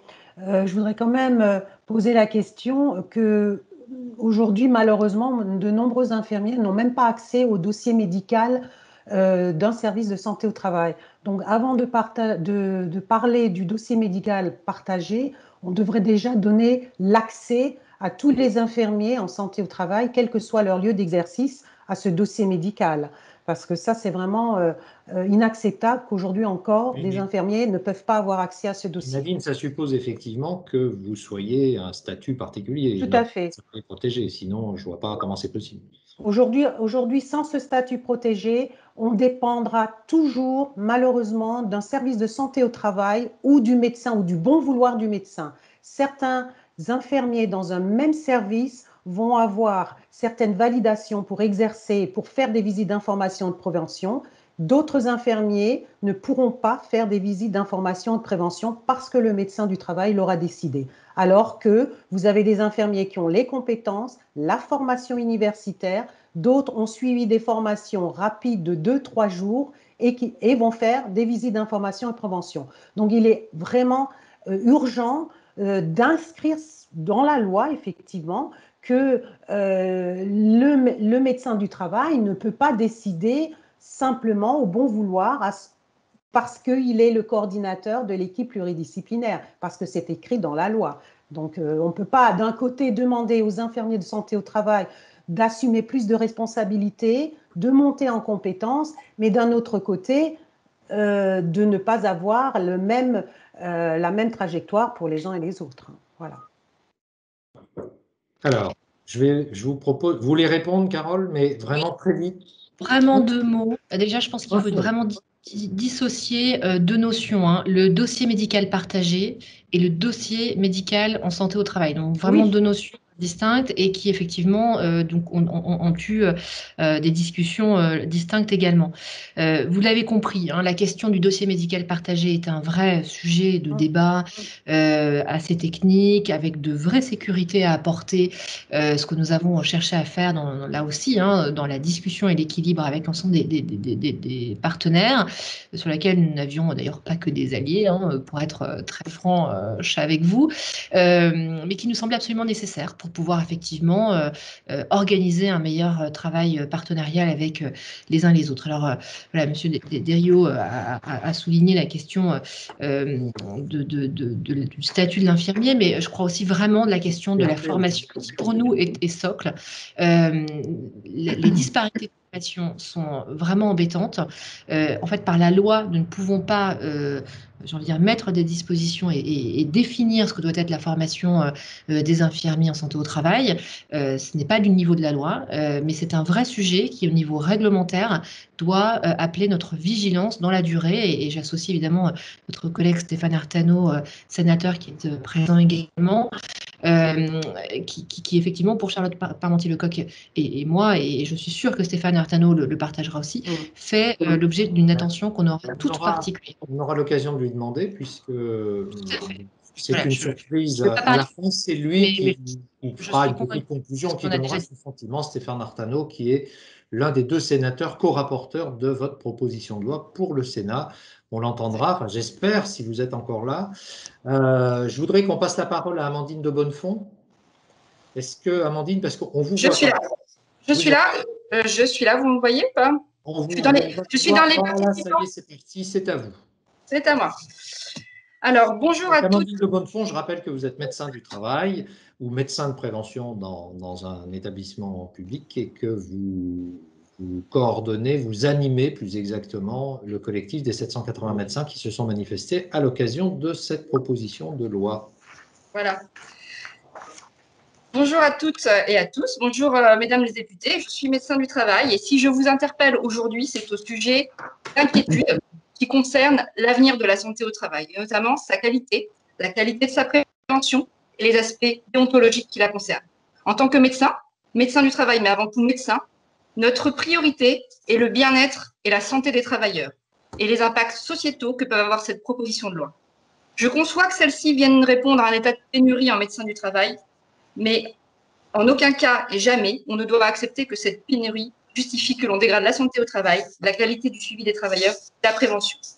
Premièrement, déléguer des consultations jusque-là strictement médicales, telles que les visites de reprise après arrêt maladie prolongé, les visites à la demande des salariés et toutes celles qui peuvent nécessiter des aménagements de poste, soit à des infirmiers, soit à des, des médecins généralistes, c'est faire fi du service rendu aux travailleurs.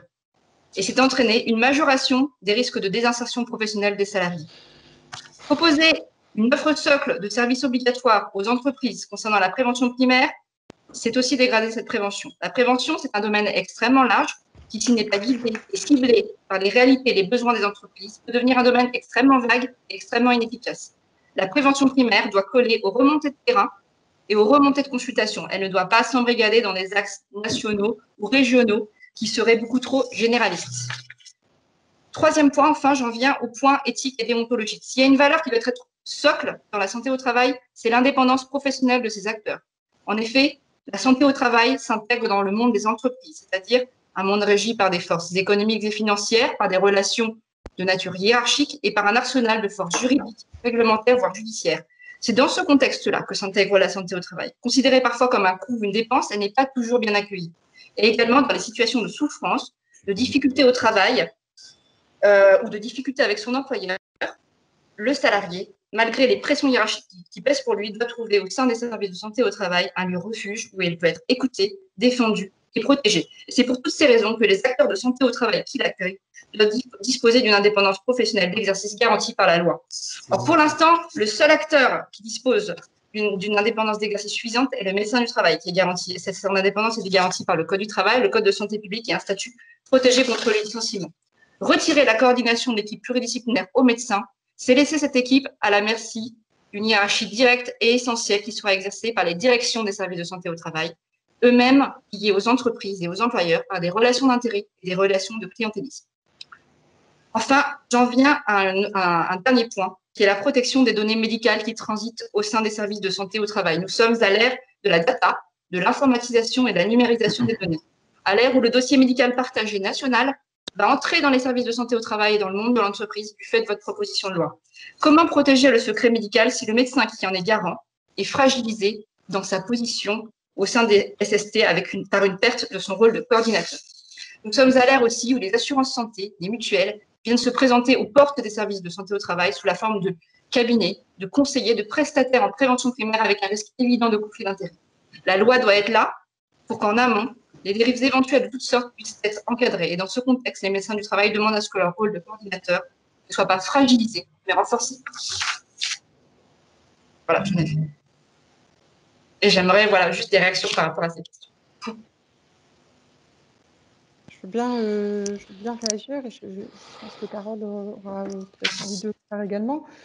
Moi, je, je pense que c'est une, approche euh, peut-être un petit peu euh, caricaturale là euh, qui nous a été livrée du, monde du travail parce que bien évidemment qu'il y a des précautions à prendre et je pense que véritablement elles ont été prises dans notre texte de loi. La question de protection des données, pour rebondir rapidement là-dessus, est un sujet que nous avons abordé avec le Conseil d'État à l'occasion de euh, de, notre réflexion sur l'accès au dossier médical partagé. nous avons été très très vigilants à respecter les droits, les libertés, la protection des données dans ce texte. Et c'est pourquoi nous sommes passés devant le Conseil d'État pour vraiment prendre toutes leurs recommandations en compte. C'est ce que nous avons fait. Donc nous avons mis euh, des critères supplémentaires euh, euh, au service de santé au travail sur ces protections de données. La CNIL est en train de, conduire également un travail spécifique là-dessus. Donc moi, je crois qu'on a répondu véritablement à cet enjeu. Peut-être même, je dirais qu'on l'aura amélioré par rapport à la situation actuelle, puisque là, on aura reclarifié justement ces règles du jeu et également, on aura fait de la protection des données un élément certificateur finalement euh, des services de santé au travail, ce qui n'est pas le cas aujourd'hui.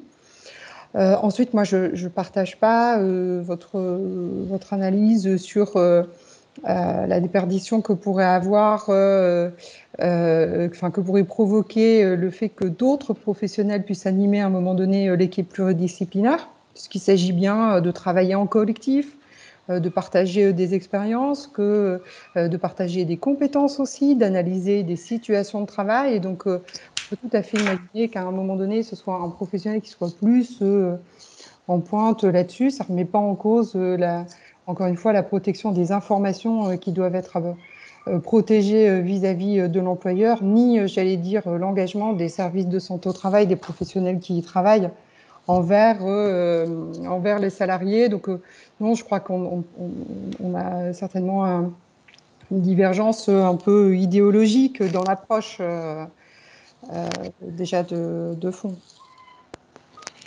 Oui, pour compléter hein, euh, les, propos de, Charlotte Parmentier-Lecoq, auxquels évidemment je m'associe, franchement déjà aujourd'hui, il faut quand même qu'on se dise ensemble que la France se situe au 29e rang sur 35 pays européens en matière d'évaluation des risques professionnels. Donc on ne peut pas considérer que la situation actuelle est satisfaisante en matière de prévention, malgré, encore une fois, une multitude de professionnels exemplaires, euh, ultra compétents, euh, mais qui euh, sont organisés de telle manière à ce qu'ils travaillent chacun dans, leur silo.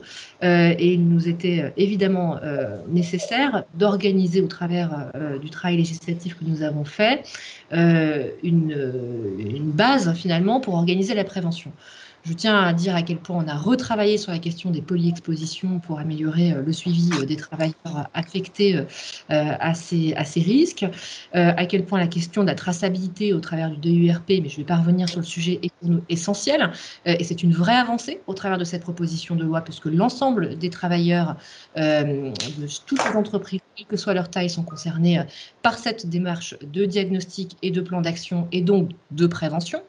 à quel point la question euh, euh, de la formation euh, était au cœur de nos, sujets, la formation des élus, la formation des infirmiers, l'expertise en santé au travail pour nous est, une, est une expertise qu'il nous faut encore valoriser dans le regard de, notre, de la société.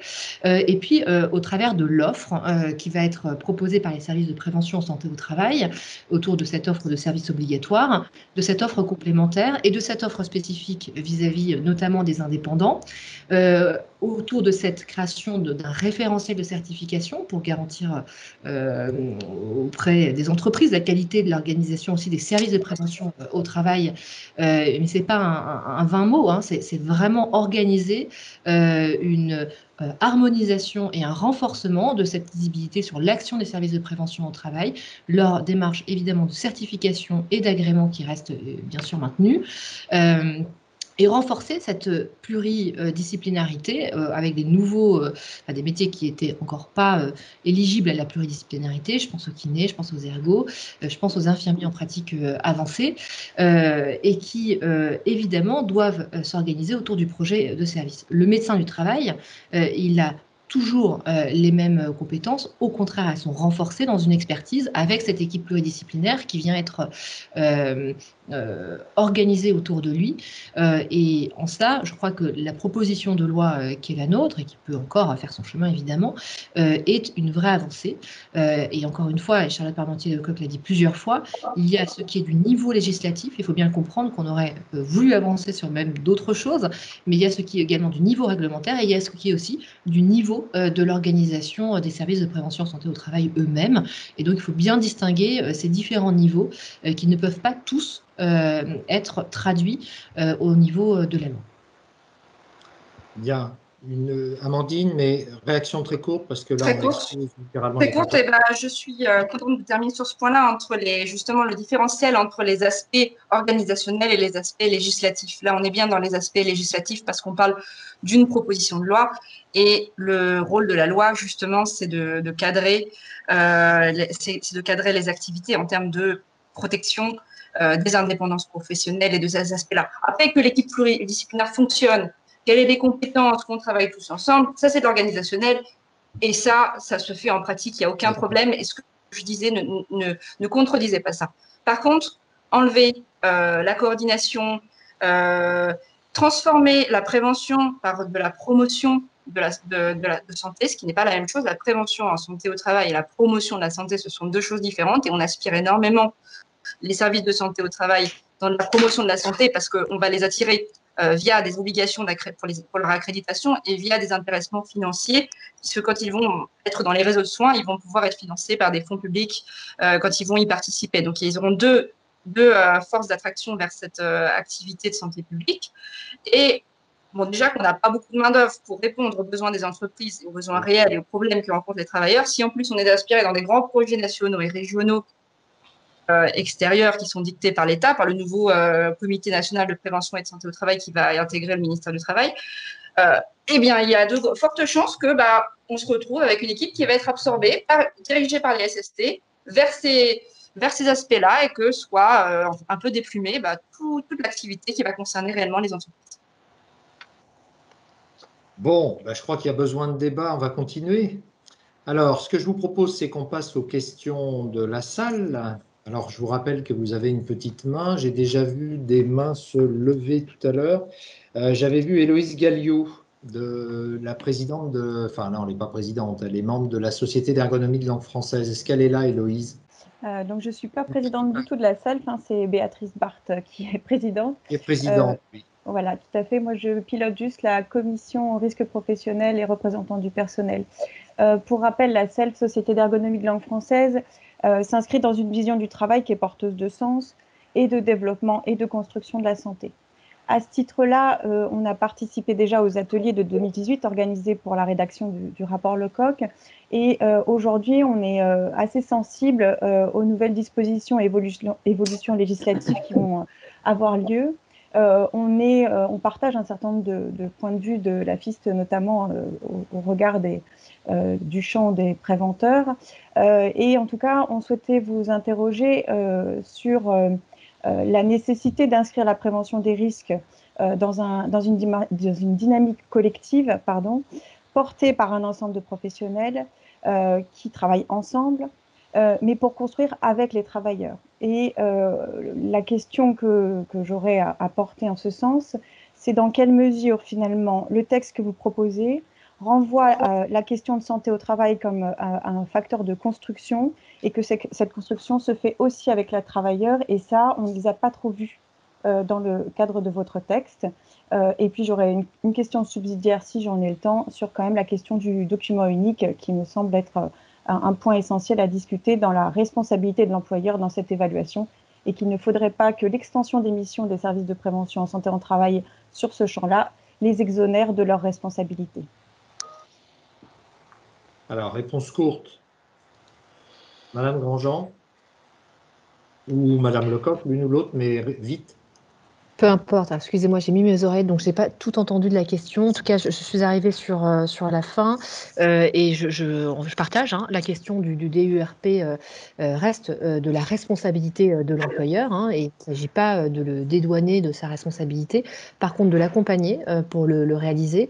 Et je crois vraiment à l'action nécessaire du dialogue social au sein des branches pour organiser euh, et préparer en fait un certain nombre d'outils leur permettant euh, d'accélérer euh, sur certains sujets la réalisation de ce diagnostic et, de ce plan d'action, leur faciliter ce travail-là, mais la responsabilité reste celui de l'employeur et, il n'en est rien d'autre, enfin il n'y a rien prévu autrement dans notre proposition de loi.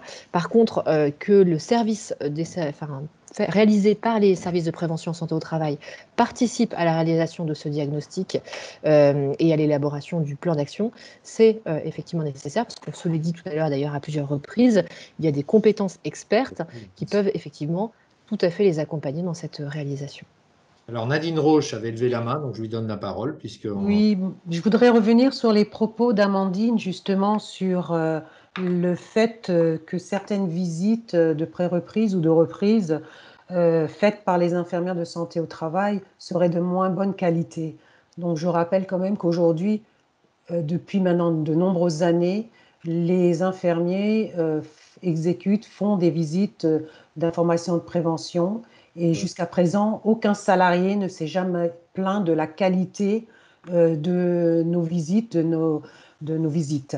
comme le disait Madame Lecoq, nous sommes amenés à monter en compétences, euh, à nous former, et c'est pour cela que nous pouvons prendre en charge le suivi de santé euh, des salariés. C'est bien inscrit dans le Code du travail que nous faisons partie de ces quatre professionnels de santé qui suivons les salariés. Donc je ne pense pas que la qualité est moins bonne que celle faite par les médecins. Commentaire? Non? Vous voulez que je réponde ou pas? Amandine, allez-y. Ah, moi, je, je pas de qualité que je parle en fait, c'est que je parle de qualification. Ce sont deux métiers différents.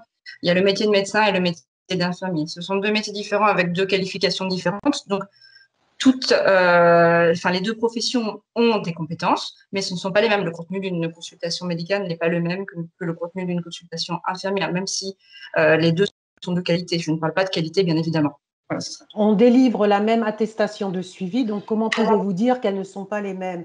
Donc dans ce cas, il y, a, quelque chose qui ne va pas. Si, si au, final, nous délivrons la même attestation de suivi, comment pouvez-vous dire ça? Je ne comprends pas là. Bah, très clairement, sur des visites euh, comme euh, la visite de reprise après congé longue maladie, on se retrouve avec des salariés dans des situations de santé très délicates, parfois des dossiers complexes euh, de santé avec euh, voilà, la nécessité de porter un diagnostic, sur le, un diagnostic médical pour le salarié, un diagnostic pronostic euh, euh, par rapport à son état de santé, comment il va évoluer dans le temps, et connaître les capacités fonctionnelles résiduelles du travailleur pour savoir comment on va le maintenir en emploi et l'intégrer sur son poste, ça, ça, nécessite très souvent des compétences médicales. Et bon, bien sûr, on peut, on peut renvoyer vers le médecin, etc., mais si dès qu'on arrive, si on, attribue dès le départ des, c'est un débat où je pense qu'on va, Voilà, oui, voilà. déjà et avec vos différentes structures. Euh, j'avais aussi vu euh, Jean-Louis Hilberberg de l'association Santé et Médecine du Travail. Est-ce qu'il est là? Euh, Bonjour. Madame la députée Carole Grandjean a souligné son grand respect pour les médecins du travail. De, en tant que médecin du travail, je souligne aussi mon grand respect pour les directeurs et les directrices de ressources humaines. Et en matière de connaissance du droit du travail, euh, vous n'êtes pas sans savoir que euh, le contrat de travail est un lien de subordination. Euh, ce lien de subordination fait que donc considérer qu'un homme et une femme au travail puissent donner son consentement éclairé sur le partage de données de santé individuelles me paraît être loin de la réalité des enjeux et des rapports de force dans le monde du travail. Deuxièmement, euh, le texte précédent de nos multiples réformes, puisque euh, j'ai bien compris que euh, nous devons être des salariés comme les autres et connaître des réformes tous les 4 à 5 ans, le dernier texte disait que les missions du service de santé au travail parlaient de santé publique, mais parlaient de santé publique en lien avec le travail. Donc pourquoi, en tant que député, vous considérez que ce texte est obsolète? Merci. Alors, Carole Grandjean ou, euh, Madame... Je, crois que, je crois que, attendez, euh, encore une fois, hein, euh, il y existe des outils, il existe aussi des évolutions dans nos organisations, dans nos outils. la place du numérique, et on l'a vu pendant la crise Covid, prend de plus en plus sa place. Et donc, il s'agit aussi pour le législateur d'accompagner ces besoins de transmission d'informations, de partage d'informations. On a eu aussi des événements, hein, des faits divers divers, divers et variés, qui ont montré à quel point le cloisonnement santé publique, santé travail pouvait aussi poser de vraies questions de fond. on peut aussi s'interroger sur la pertinence de la réalisation d'examens répétés parce que les professionnels ne, ne, partagent pas les informations, ou en tout cas il n'y a pas un centralisateur des, des informations, notamment par le dossier médical partagé. Et donc c'est ce à quoi nous avons répondu autour de ce dossier médical partagé. ce lien de subordination, il a été très largement euh, réfléchi, euh, affiné au fur et à mesure de nos discussions euh, entre nous, avec le Conseil d'État, entre parlementaires, dans le cadre de nos travaux. et il a été d'ailleurs tellement précisé qu'on est vraiment sur un consentement express, qu'on est qu'effectivement on a bien précisé que l'expression d'un éventuel refus du travailleur n'est ne, pas communiqué à l'employeur, ne peut être un motif de sanction quel qu'il soit, quelle qu'elle soit, euh, qu'en cas de litige, euh, aucune information euh, issue de ce dossier médical partagé ne peut être transmise, notamment en Conseil des prud'hommes. Donc voilà, je crois que franchement, il faut à la fois accepter. le Conseil de l'ordre. je, voudrais juste terminer euh, sur le sujet, il faut accepter évidemment d'entendre le besoin de sécurisation compte tenu de ce lien de subordination que nous avons parfaitement euh, intégré et en même temps euh, concilier aussi le besoin d'organiser l'échange. et je crois que si c'est mal connaître la réalité des entreprises que de considérer de manière un peu euh, voilà, euh, manichéenne, que les employeurs euh, sont tous derrière effectivement leurs salariés à vouloir leur vouloir du mal et à vouloir effectivement récupérer toutes ces infos. Je crois que c'est pas le cas en fait, hein. et les médecins du travail savent très bien gérer la confidentialité de leur activité et J'associe d'ailleurs autour des médecins du travail l'ensemble de l'équipe pluridisciplinaire qui sait très bien protéger les données et la confidentialité médicale qui, auquel le salarié a droit. Et donc, euh, moi, je fais confiance euh, aux acteurs, je fais confiance aux, médecins du travail qui sont encore une fois protégés, et, je crois qu'il faut remettre aussi de la confiance dans chacun des acteurs, dont l'employeur. Le, Conseil de l'ordre, il a dit quelque chose sur cette question de l'accès du médecin du travail au, DMP vous savez, quelqu'un peut répondre? Le Conseil de l'ordre, nous l'avons auditionné. Oui, je crois, c'est pour ça que je vous posais la question. Oui, tout à fait. Euh, le, Conseil de l'ordre n'était pas favorable à une pleine euh, ouverture du, dossier médical partagé aux médecins du travail, euh, mais c'est quelque chose qui était pour nous à la fois mûr sur le terrain, très attendu et nécessaire, euh, et euh, pour lequel nous sommes euh, pleinement mobilisés, pleinement engagés avec toutes les précautions qu'a évoquées Carole Grandjean et, et, d'où notre passage auprès du Conseil d'État. D'accord. Alors, une... est-ce que Madame Legras est revenue? Isabelle Legras, est-ce que vous êtes de nouveau là? Ou pas? Attendez. Oui. On vous entend voilà. caméra, euh, Madame Legras, parce que vous ne devez pas avoir un très bon réseau. voilà, parce que du coup, j'ai bien entendu depuis le début, je me suis censure au moment où je parle, non, je plaisante. ah, c'est le coup du sort. oui, euh, je, alors, je, voudrais d'abord faire part d'un sentiment un petit peu de. Je, suis plutôt inquiète euh, et pas vraiment rassurée suite à la teneur un petit peu des échanges ce soir. Il y aurait beaucoup à dire. Plusieurs choses qui m'ont un petit peu heurté. Alors, je comprends tout à fait à quel point c'est important de respecter euh, le dialogue social. Hein. En tant que syndicaliste moi-même, je ne vais pas euh, euh, mettre de côté tout l'intérêt et vraiment toute l'intelligence du dialogue social. par contre, en prévention en santé au travail, déjà faire de la prévention, c'est travailler sur le long terme. La prévention, quand on a bien travaillé, ça ne se voit pas, puisque c'est toute une culture de prévention qu'il faut avoir. Et je trouve qu'actuellement, euh, je pense qu'on manque un peu de cette culture de prévention euh, au niveau des partenaires sociaux.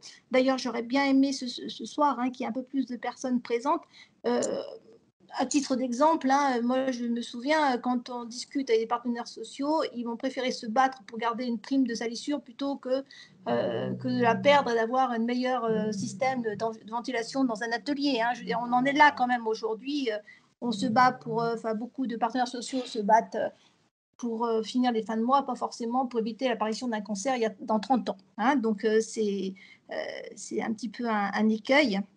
Et puis, je suis aussi inquiète quand j'entends parler que il y aura une offre de service. Pour moi, l'offre de service, ben, c'est travailler dans la prévention en santé au travail que les services de santé finalement pourront choisir leurs collaborateurs. Hein, et, je ne vois pas comment aussi, en laissant une gouvernance telle qu'elle est aujourd'hui, pourquoi un conseil d'administration qui a envie de faire plaisir à ses administrateurs ira choisir un ergonome qui va peut-être aller critiquer une organisation qui va un petit peu interpeller sur un mode de travail euh, je pense que c'est beaucoup plus plaisant et beaucoup plus attractif et beaucoup plus euh, facile de communiquer sur euh, bah, j'embauche un kiné qui va me faire faire trois mouvements et Je pense que ça, il faut vraiment, vraiment faire très très attention. Hein, alors moi, j'ai beaucoup de respect politique aussi. Je pense qu'on en manque aussi pour prendre en charge les gens qui sont cassés par le travail quand ils sortent de l'hôpital.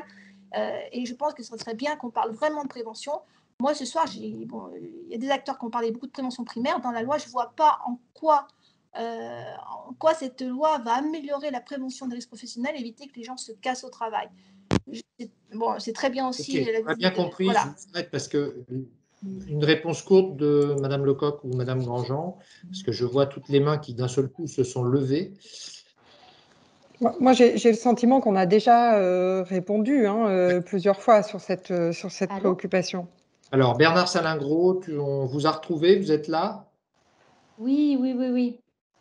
Euh, j'allais vous envoyer un message. Il y a quelqu'un qui n'a pas coupé son micro, là. C'est toujours la même chose. Juste un petit exemple sur la gouvernance. Vous avez critiqué à juste titre hein, les, services de santé au travail qui ont, fait, qui ont demandé du chômage partiel. Pensez-vous vraiment que ce sont les médecins du travail, les infirmiers du travail, les préventeurs qui ont décidé de fermer les services de santé au travail? Donc ça devrait vous faire réfléchir très, de façon euh, peut-être plus poussé sur la gouvernance. Comment peut-on laisser hein, des, administrateurs fermer un service de, santé au travail en pleine crise sanitaire Je pense que c'est suffisant pour, euh, pour dire qu'il y a vraiment un malaise de fond à la gouvernance en France. Oui, c'est vrai que, bon, si je résume, il y a ah, et mon débutant, mais bon. beaucoup de services de santé. Euh, et puis j'ai envoyé tous les documents qui ont été imprimés. Ah, tu peux couper le micro. Je, les, ai envoyés à, l'accueil du Châtelard directement Voilà, donc. Je, je, propose que peut-être on, amène un, mot de, conclusion. Parce que là, je sens. Euh, en tout cas, je vais devoir vous quitter. Ah bon? Donc j'imagine que, que Stéphane Artano devait faire la, conclusion, c'est bien ça? Oui. Et en fait, ils arrivent tous demain. Donc c'est pas mal parce qu'on n'aura pas, ce sera pas en deux fois. On ne vous entend pas, euh, Monsieur Derriot. votre, votre, micro est coupé. On entend tout le monde, mais sauf vous. Tu peux couper le micro de Madame Parent, tu peux y arriver. D'accord. C'est bon, c'est fait. Monsieur Artano, est-ce que vous êtes là? Absolument. Absolument. Ben, on vous écoute sur vos impressions après ce débat qui était un peu animé par certains côtés euh, et qui pourrait durer encore quelques heures. Oui, enfin, c'est tout l'enjeu des débats quand même, c'est qu'ils soient animés, sinon euh, à quoi ils serviraient Voilà, c'est le débat par nature, c'est la confrontation des, idées euh, aussi louables. Je rappelle que vous êtes co-rapporteur de la proposition de loi Lecoq, Lecoq Grandjean et d'autres sur le renforcement de la prévention en santé au travail. Permettez-moi d'abord, permettez-moi de. Alors, je, ne sais pas si vous m'entendrez bien, je l'espère, parce que j'ai des problèmes de connexion. Hein. Je suis à 5000 km, puisque je suis sur mon territoire euh, en Outre-mer, à Saint-Pierre-et-Miquelon. Saint-Pierre-et-Miquelon, tout à fait. Et on vous entend bien et on vous voit bien. Bon, tant mieux. Tant mieux, ce matin, j'ai eu des problèmes de connexion pour mes éditions, donc c'est un peu compliqué. écoutez, merci déjà de, de votre invitation. Merci Merci pour la, qualité des échanges et, plaisir de revoir mes collègues députés Charlotte et, Carole que je salue. Ça faisait un moment qu'on n'avait pas été en contact depuis, depuis l'adoption du texte par l'Assemblée euh, et depuis que le Sénat a commencé ses travaux. Donc des travaux qui vont nous amener à un passage en commission des affaires sociales le 23 juin avec euh, un passage en hémicycle le 6 juillet. Donc on espère vraiment tous euh, que ce texte il sera adopté assez vite parce que je le rappelle juste comme ça pour info, Euh, s'il n'est pas adopté assez rapidement, derrière, il y a un effet domino, notamment sur le plan santé au travail, hein, parce que les partenaires sociaux attendent également, euh, justement, de pouvoir continuer le travail au niveau du COP sur le PSP4. Euh, et ça, ça rejoint une des réflexions qui ont été faites par, par Charlotte sur le fait que la, loi ne peut pas tout et tout ne doit pas être écrit dans la loi. Et je pense qu'il y a notamment, et ça a été la volonté, je pense, partagée entre Charlotte, Carole et nous, à tout moment et depuis le processus initial du premier rapport de Charlotte jusqu'à l'aboutissement de la loi, c'est qu'il y a une place pour les partenaires sociaux. Je pense que ça a été, euh, ça a été un leitmotiv en ce qui nous concerne. Alors, les partenaires sociaux ont, réussi à se mettre d'accord parce qu'il y a quand même eu un, trou dans la raquette à un moment donné et un blanc. Et euh, le gouvernement a repris l'initiative en fixant un cadre un peu plus, un peu plus euh, contraint peut-être ou nouveau, mais en l'occurrence, je pense que les partenaires sociaux qui fonctionnent très bien au sein il faut le rappeler quand même, ça reste une des instances euh, au sein de laquelle euh, je trouve que les partenaires sociaux euh, se mettent plutôt d'accord en dehors des dogmes des positions respectives, hein, parce qu'il faut le dire, voilà, ils, ont, ils ont aussi le droit d'avoir des positions un peu dogmatiques. ce, qui, ce, qui, nous guide, et ce qui nous guide tous, c'est la prévention primaire. Il faut être très clair, moi de mon point de vue aujourd'hui, cette réforme, quels que soient les ajouts qu'on pourrait y faire au Sénat, quels que soient ceux qui ont été faits par mes collègues à l'Assemblée, euh, il y a de mon point de vue une difficulté majeure qui est liée notamment euh, sur deux éléments. Le premier, c'est les risques psychosociaux. Euh, et je le dis très humblement parce que je ne suis pas persuadé qu'on ait la réponse. pas plus en France qu'au Danemark, hein, puisque je dis Danemark, puisqu'on a visité les Danois dans le cadre du rapport d'information que nous avions fait au Sénat. Et sur les risques psychosociaux, ils ne sont pas meilleurs que les Français et ils ne sont pas pires que les Français, alors que la culture est quand même un peu différente. Donc c'est intéressant quand même de, faire du droit comparé et de voir comment ailleurs ça se passe. Donc les risques psychosociaux, y compris dans l'ANI d'ailleurs, hein, ils sont quasiment absents. Je crois qu'ils ont dû être cités une fois, mais je pense que les partenaires sociaux ne sont pas très à l'aise sur le sujet. Je pense que la passerelle entre la vie privée euh, et la vie pro euh, fait peur, inquiète, et je peux comprendre en termes de responsabilité du chef d'entreprise euh, que ça, ça peut poser des difficultés. Puis le deuxième sujet, sur lequel je pense peut-être on aurait tous peut-être aimé aller plus loin, c'est la gouvernance. Je pense que le premier rapport de Charlotte a quand même généré un petit bing-bang euh, au niveau des acteurs et, ça les a un peu secoués et sans doute euh, mis en, ordre de bataille d'ailleurs, euh, parce qu'on a senti quand même que ça avait secoué un peu l'establishment, on va le dire comme ça, tel qu'il il s'est constitué à un moment donné. Et je pense qu'effectivement, n'ont pas dans l'ANI eu la volonté, enfin affirmée de mon point de vue au niveau national, de vouloir faire bouger la gouvernance. Ça aurait posé, si on prend par exemple le statut des services santé au travail, ça aurait peut-être imposé de créer un nouveau euh, statut juridique sui generis dédié, puisqu'aujourd'hui ce sont des associations de type loi 1901 qui fonctionnent comme des associations de type loi 1901. Euh, et si on avait voulu imposer un certain nombre de contraintes supplémentaires, il aurait fallu créer un nouveau statut dédié. Euh, pas persuadé qu'on ait forcément l'espace dans ce texte, ni même dans l'ANI sur ce sujet. Donc il faut, il faut bien, et je l'avais dit en off à un certain nombre de, personnes auditionnées, euh, cette réforme, c'est une étape supplémentaire. Il ne faut pas le voir comme une fin en soi. Euh, la santé au travail, comme le travail, comme l'évolution des conditions de travail, c'est un, mouvement perpétuel. Euh, de dire que cette réforme va répondre à tout, c'est faux, et je pense que les parlementaires que nous sommes vous le disent. Enfin, c'est un pas supplémentaire, et chaque pas est important. S'il y a des choses à améliorer, on essaiera de l'améliorer, évidemment, en concertation avec l'Assemblée, puisqu'il faut que nous ayons une commission mixte paritaire qui soit la plus conclusive possible, et je regarde mes collègues députés, euh, pour faire en sorte que cette réforme puisse aboutir. Euh, il y a quand même au travers, moi, quelque chose qui me choque, mais dont je suis persuadé depuis le début, euh, et qui est un élément important, c'est qu'on parle assez peu du travail finalement. Euh, vous, regardez, euh, vous regardez et, je, ne stigmatise ni les chefs d'entreprise, ni d'ailleurs les organisations syndicales, hein, quelles qu'elles soient, mais je dis que finalement, et, merci à l'Assemblée d'avoir intégré l'organisation du travail sur la carte, parce que c'était absent du dispositif, et c'est vrai qu'on ne met pas en discussion l'organisation du travail au sein des entreprises. Je ne dis pas que c'est simple à faire. Vous savez, c'est comme quand on dit à un parlementaire, ou à un élu qu'on va faire la démocratie participative. Tout le monde part à courir en se disant euh, finalement on va se substituer et nous on a été élus, on n'a pas à prendre notre place. Pour l'entreprise, c'est la même chose. Mettre en discussion le travail aujourd'hui, et d'ailleurs je crois que c'est M. Lamarche qui l'a dit, ça, que ça renvoie à des questions sur le travail qui sont plus complexes et qui invoquent notamment le collectif. Ce ne sont pas des éléments que vous pouvez mettre dans une loi. Euh, ce sont des éléments qui, de mon point de vue, relèvent évidemment de la négociation collective, vraisemblablement d'une déclinaison au travers de plans de santé au travail, mais je ne vois pas ces éléments-là de discussion du travail figurer dans un texte législatif. Pour autant, je pense objectivement que les vrais sujets ne vont pas se régler forcément que par la loi. Je pense que si on veut renverser la table, hein, c'était dans un de vos éditos, Monsieur Deriot, je crois que c'est le dernier d'ailleurs, si on veut renverser la table. Je sais que vous êtes un de nos fidèles abonnés, donc. Euh, ah ouais, je, je, lis, je lis avec intérêt. On n'en a pas beaucoup à l'Assemblée ou même au Sénat. Hein, je, je, lance un petit clin d'œil aux parlementaires qui sont là. Alors je vous rassure, je ne l'ai pas fait non plus pour avoir des fleurs aujourd'hui. Je suis un lecteur attentif parce que je suis curieux par nature. Euh, et vous avez euh, vocation également à réunir un certain nombre d'acteurs de la santé au travail qui sont présents aujourd'hui. Et c'est quand même intéressant d'entendre le bruit de fond quand même de l'ensemble de ces acteurs. Parce que c'est quand même moi ce qui me, ce qui me frappe depuis qu'on a commencé nos auditions, c'est le bruit de fond des acteurs qui considèrent qu'aujourd'hui on ne va pas suffisamment loin, qu'ils ne sont pas suffisamment écoutés.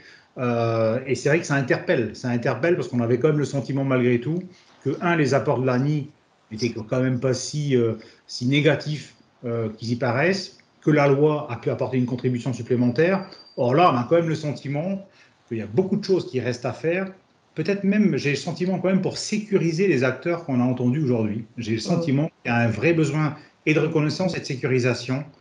Euh, je ne suis pas persuadé d'ailleurs que ce soit forcément seulement ça qui fera avancer le processus de la prévention primaire, mais j'ai bien compris qu'il y avait, euh, euh, je ne veux pas dire que c'est une demande corporatiste non plus, hein, parce que ça peut l'être d'ailleurs, hein, mais ce n'est pas comme ça que je le ressens. Moi, je ressens de vraies inquiétudes des acteurs sur un problème de reconnaissance et de statut dans, dans, le cadre dans lequel ils interviennent.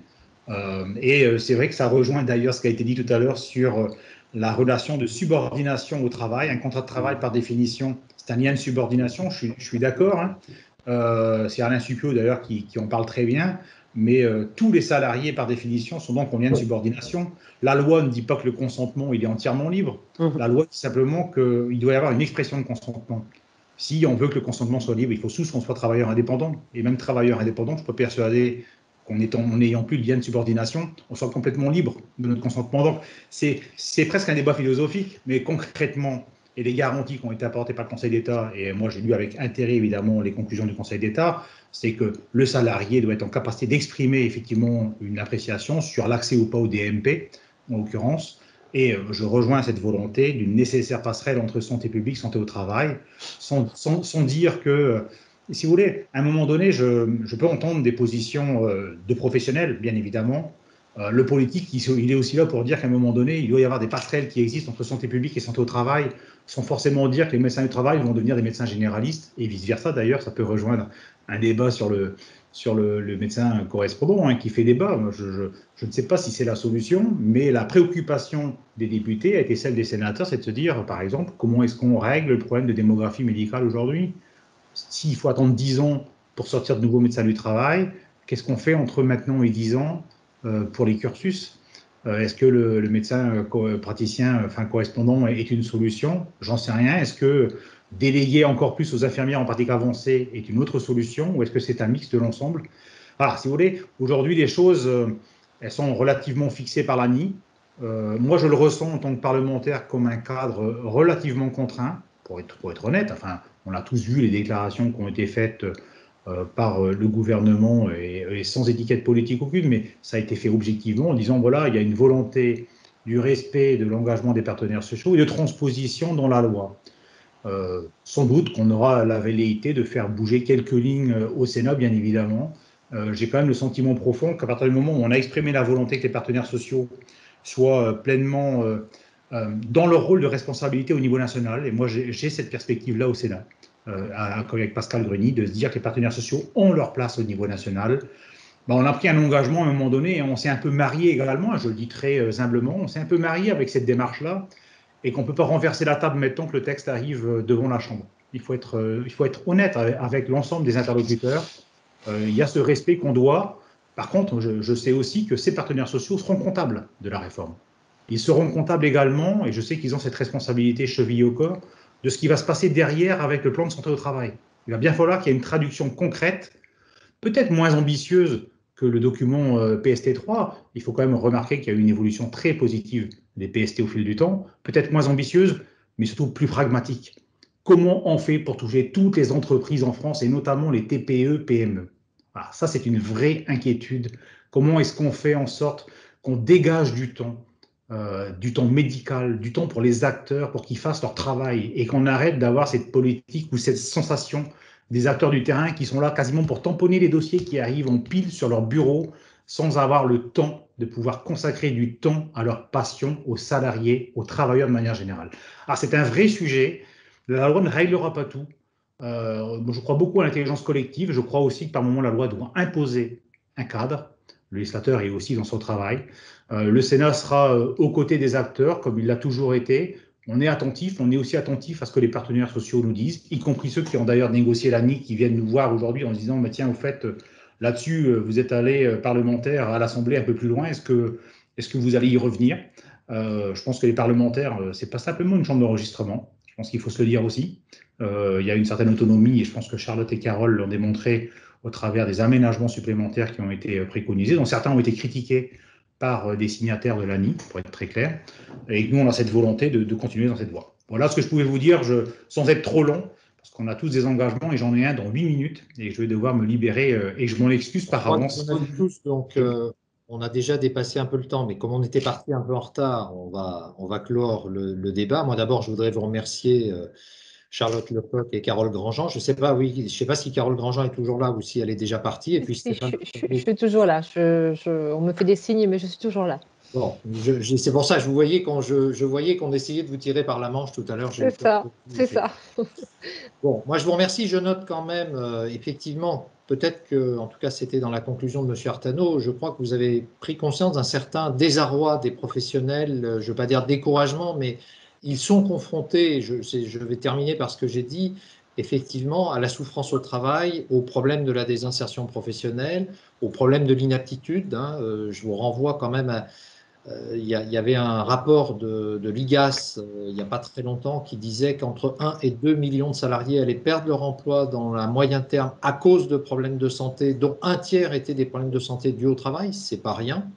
Donc ils sont aux confins justement de toute ces problématiques de gens qui sont souvent usés par le travail et dont on n'a pas prévenu suffisamment tôt les risques et qui vont se retrouver exclus définitivement du monde du travail avec des problèmes de santé qui, en plus, euh, aux problèmes sociaux, vont venir des problèmes sanitaires. Et je crois qu'il y avait une énorme attente, peut-être que c'est là, quand j'ai fait l'édito dont parlait M. Artano sur Renverser la table, je comparais les questions de santé au travail aux questions d'environnement, c'est-à-dire que ou des questions climatiques, c'est-à-dire que les professionnels, les gens avertis, et c'est pas étonnant si sur les 720 ou 40 inscrits, vous avez majoritairement et très majoritairement des professionnels de la santé au travail, quelle que soit leur profession.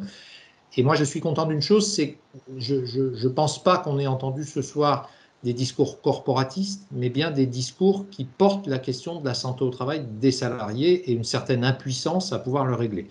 Moi, ça fait 30 ans qu'on fait santé et travail. Ça fait 30 ans qu'on parle des TMS, ça fait un peu moins longtemps qu'on parle des risques psychosociaux. Il y a eu tout un tas de plans dessus, mais il y a toujours autant de TMS, sinon plus, et toujours autant de risques psychosociaux, sinon plus. Donc je crois que c'est ça aussi qui pose la question de, de l'épuisement des professionnels de la santé au travail à s'époumoner, essayer de les résoudre, et je pense que c'est bien que vous les ayez entendus. Euh, pour répondre aussi à M. Artano, je dirais que c'est bien aussi que vous refermiez pas la porte une fois que la loi soit votée, sera votée. Je pense que c'est des questions importantes, ces questions de santé au travail, aussi bien pour le Sénat que pour l'Assemblée, et que ça serait peut-être bien qu'il y ait des commissions parlementaires autour de ces questions. À titre personnel, moi j'en avais fait créer sur l'amiante. Euh, certaines ont vécu, d'autres euh, ont disparu, mais je pense qu'au-delà de l'affaire de l'amiante, il y a vraiment une question fondamentale du devenir des salariés et du fait qu'ils ne perdent pas leur vie à la gagner, comme on dit souvent. Voilà, merci beaucoup à toutes et à tous. Je rappelle euh, que donc l'ensemble du débat sera mis en ligne très prochainement et on fera un best-of d'une dizaine de minutes qui sera également mis en ligne sur le site de Santé et Travail, qui, je rappelle, est une revue mutualiste qui fête ses 30 ans cette année, voilà, et qui est au service des acteurs de la prévention, qu'ils soient professionnels, qu'ils soient militants syndicaux. Je voudrais juste remercier aussi les personnes qui m'ont aidé à préparer, à savoir évidemment Joël, euh, que vous avez vu euh, au long de ce débat, mais aussi euh, Pascal Frémont, qui est l'assistant technique, qui a fait en sorte que ça se passe super bien. Et je suis content, mon cauchemar ne s'est pas réalisé. Et donc, ça, c'est plutôt une bonne chose. On ne s'est pas planté et je le remercie. Et puis, Corinne de Boken, qui a géré toute l'intendance, les inscriptions et la gestion de, ce débat. Voilà. Et puis mon équipe aussi, parce que pendant que je m'occupais du débat, bah, je ne me suis pas occupé de la revue et du magazine, et c'est sur eux que c'est retombé, parce qu'on est une petite équipe, et donc euh, Stéphane Vincent et Nathalie Caruel, je les associe bien volontiers à cette journée. Merci beaucoup à tous, très bonne soirée et au plaisir de vous retrouver. Voilà. Merci à Merci. vous.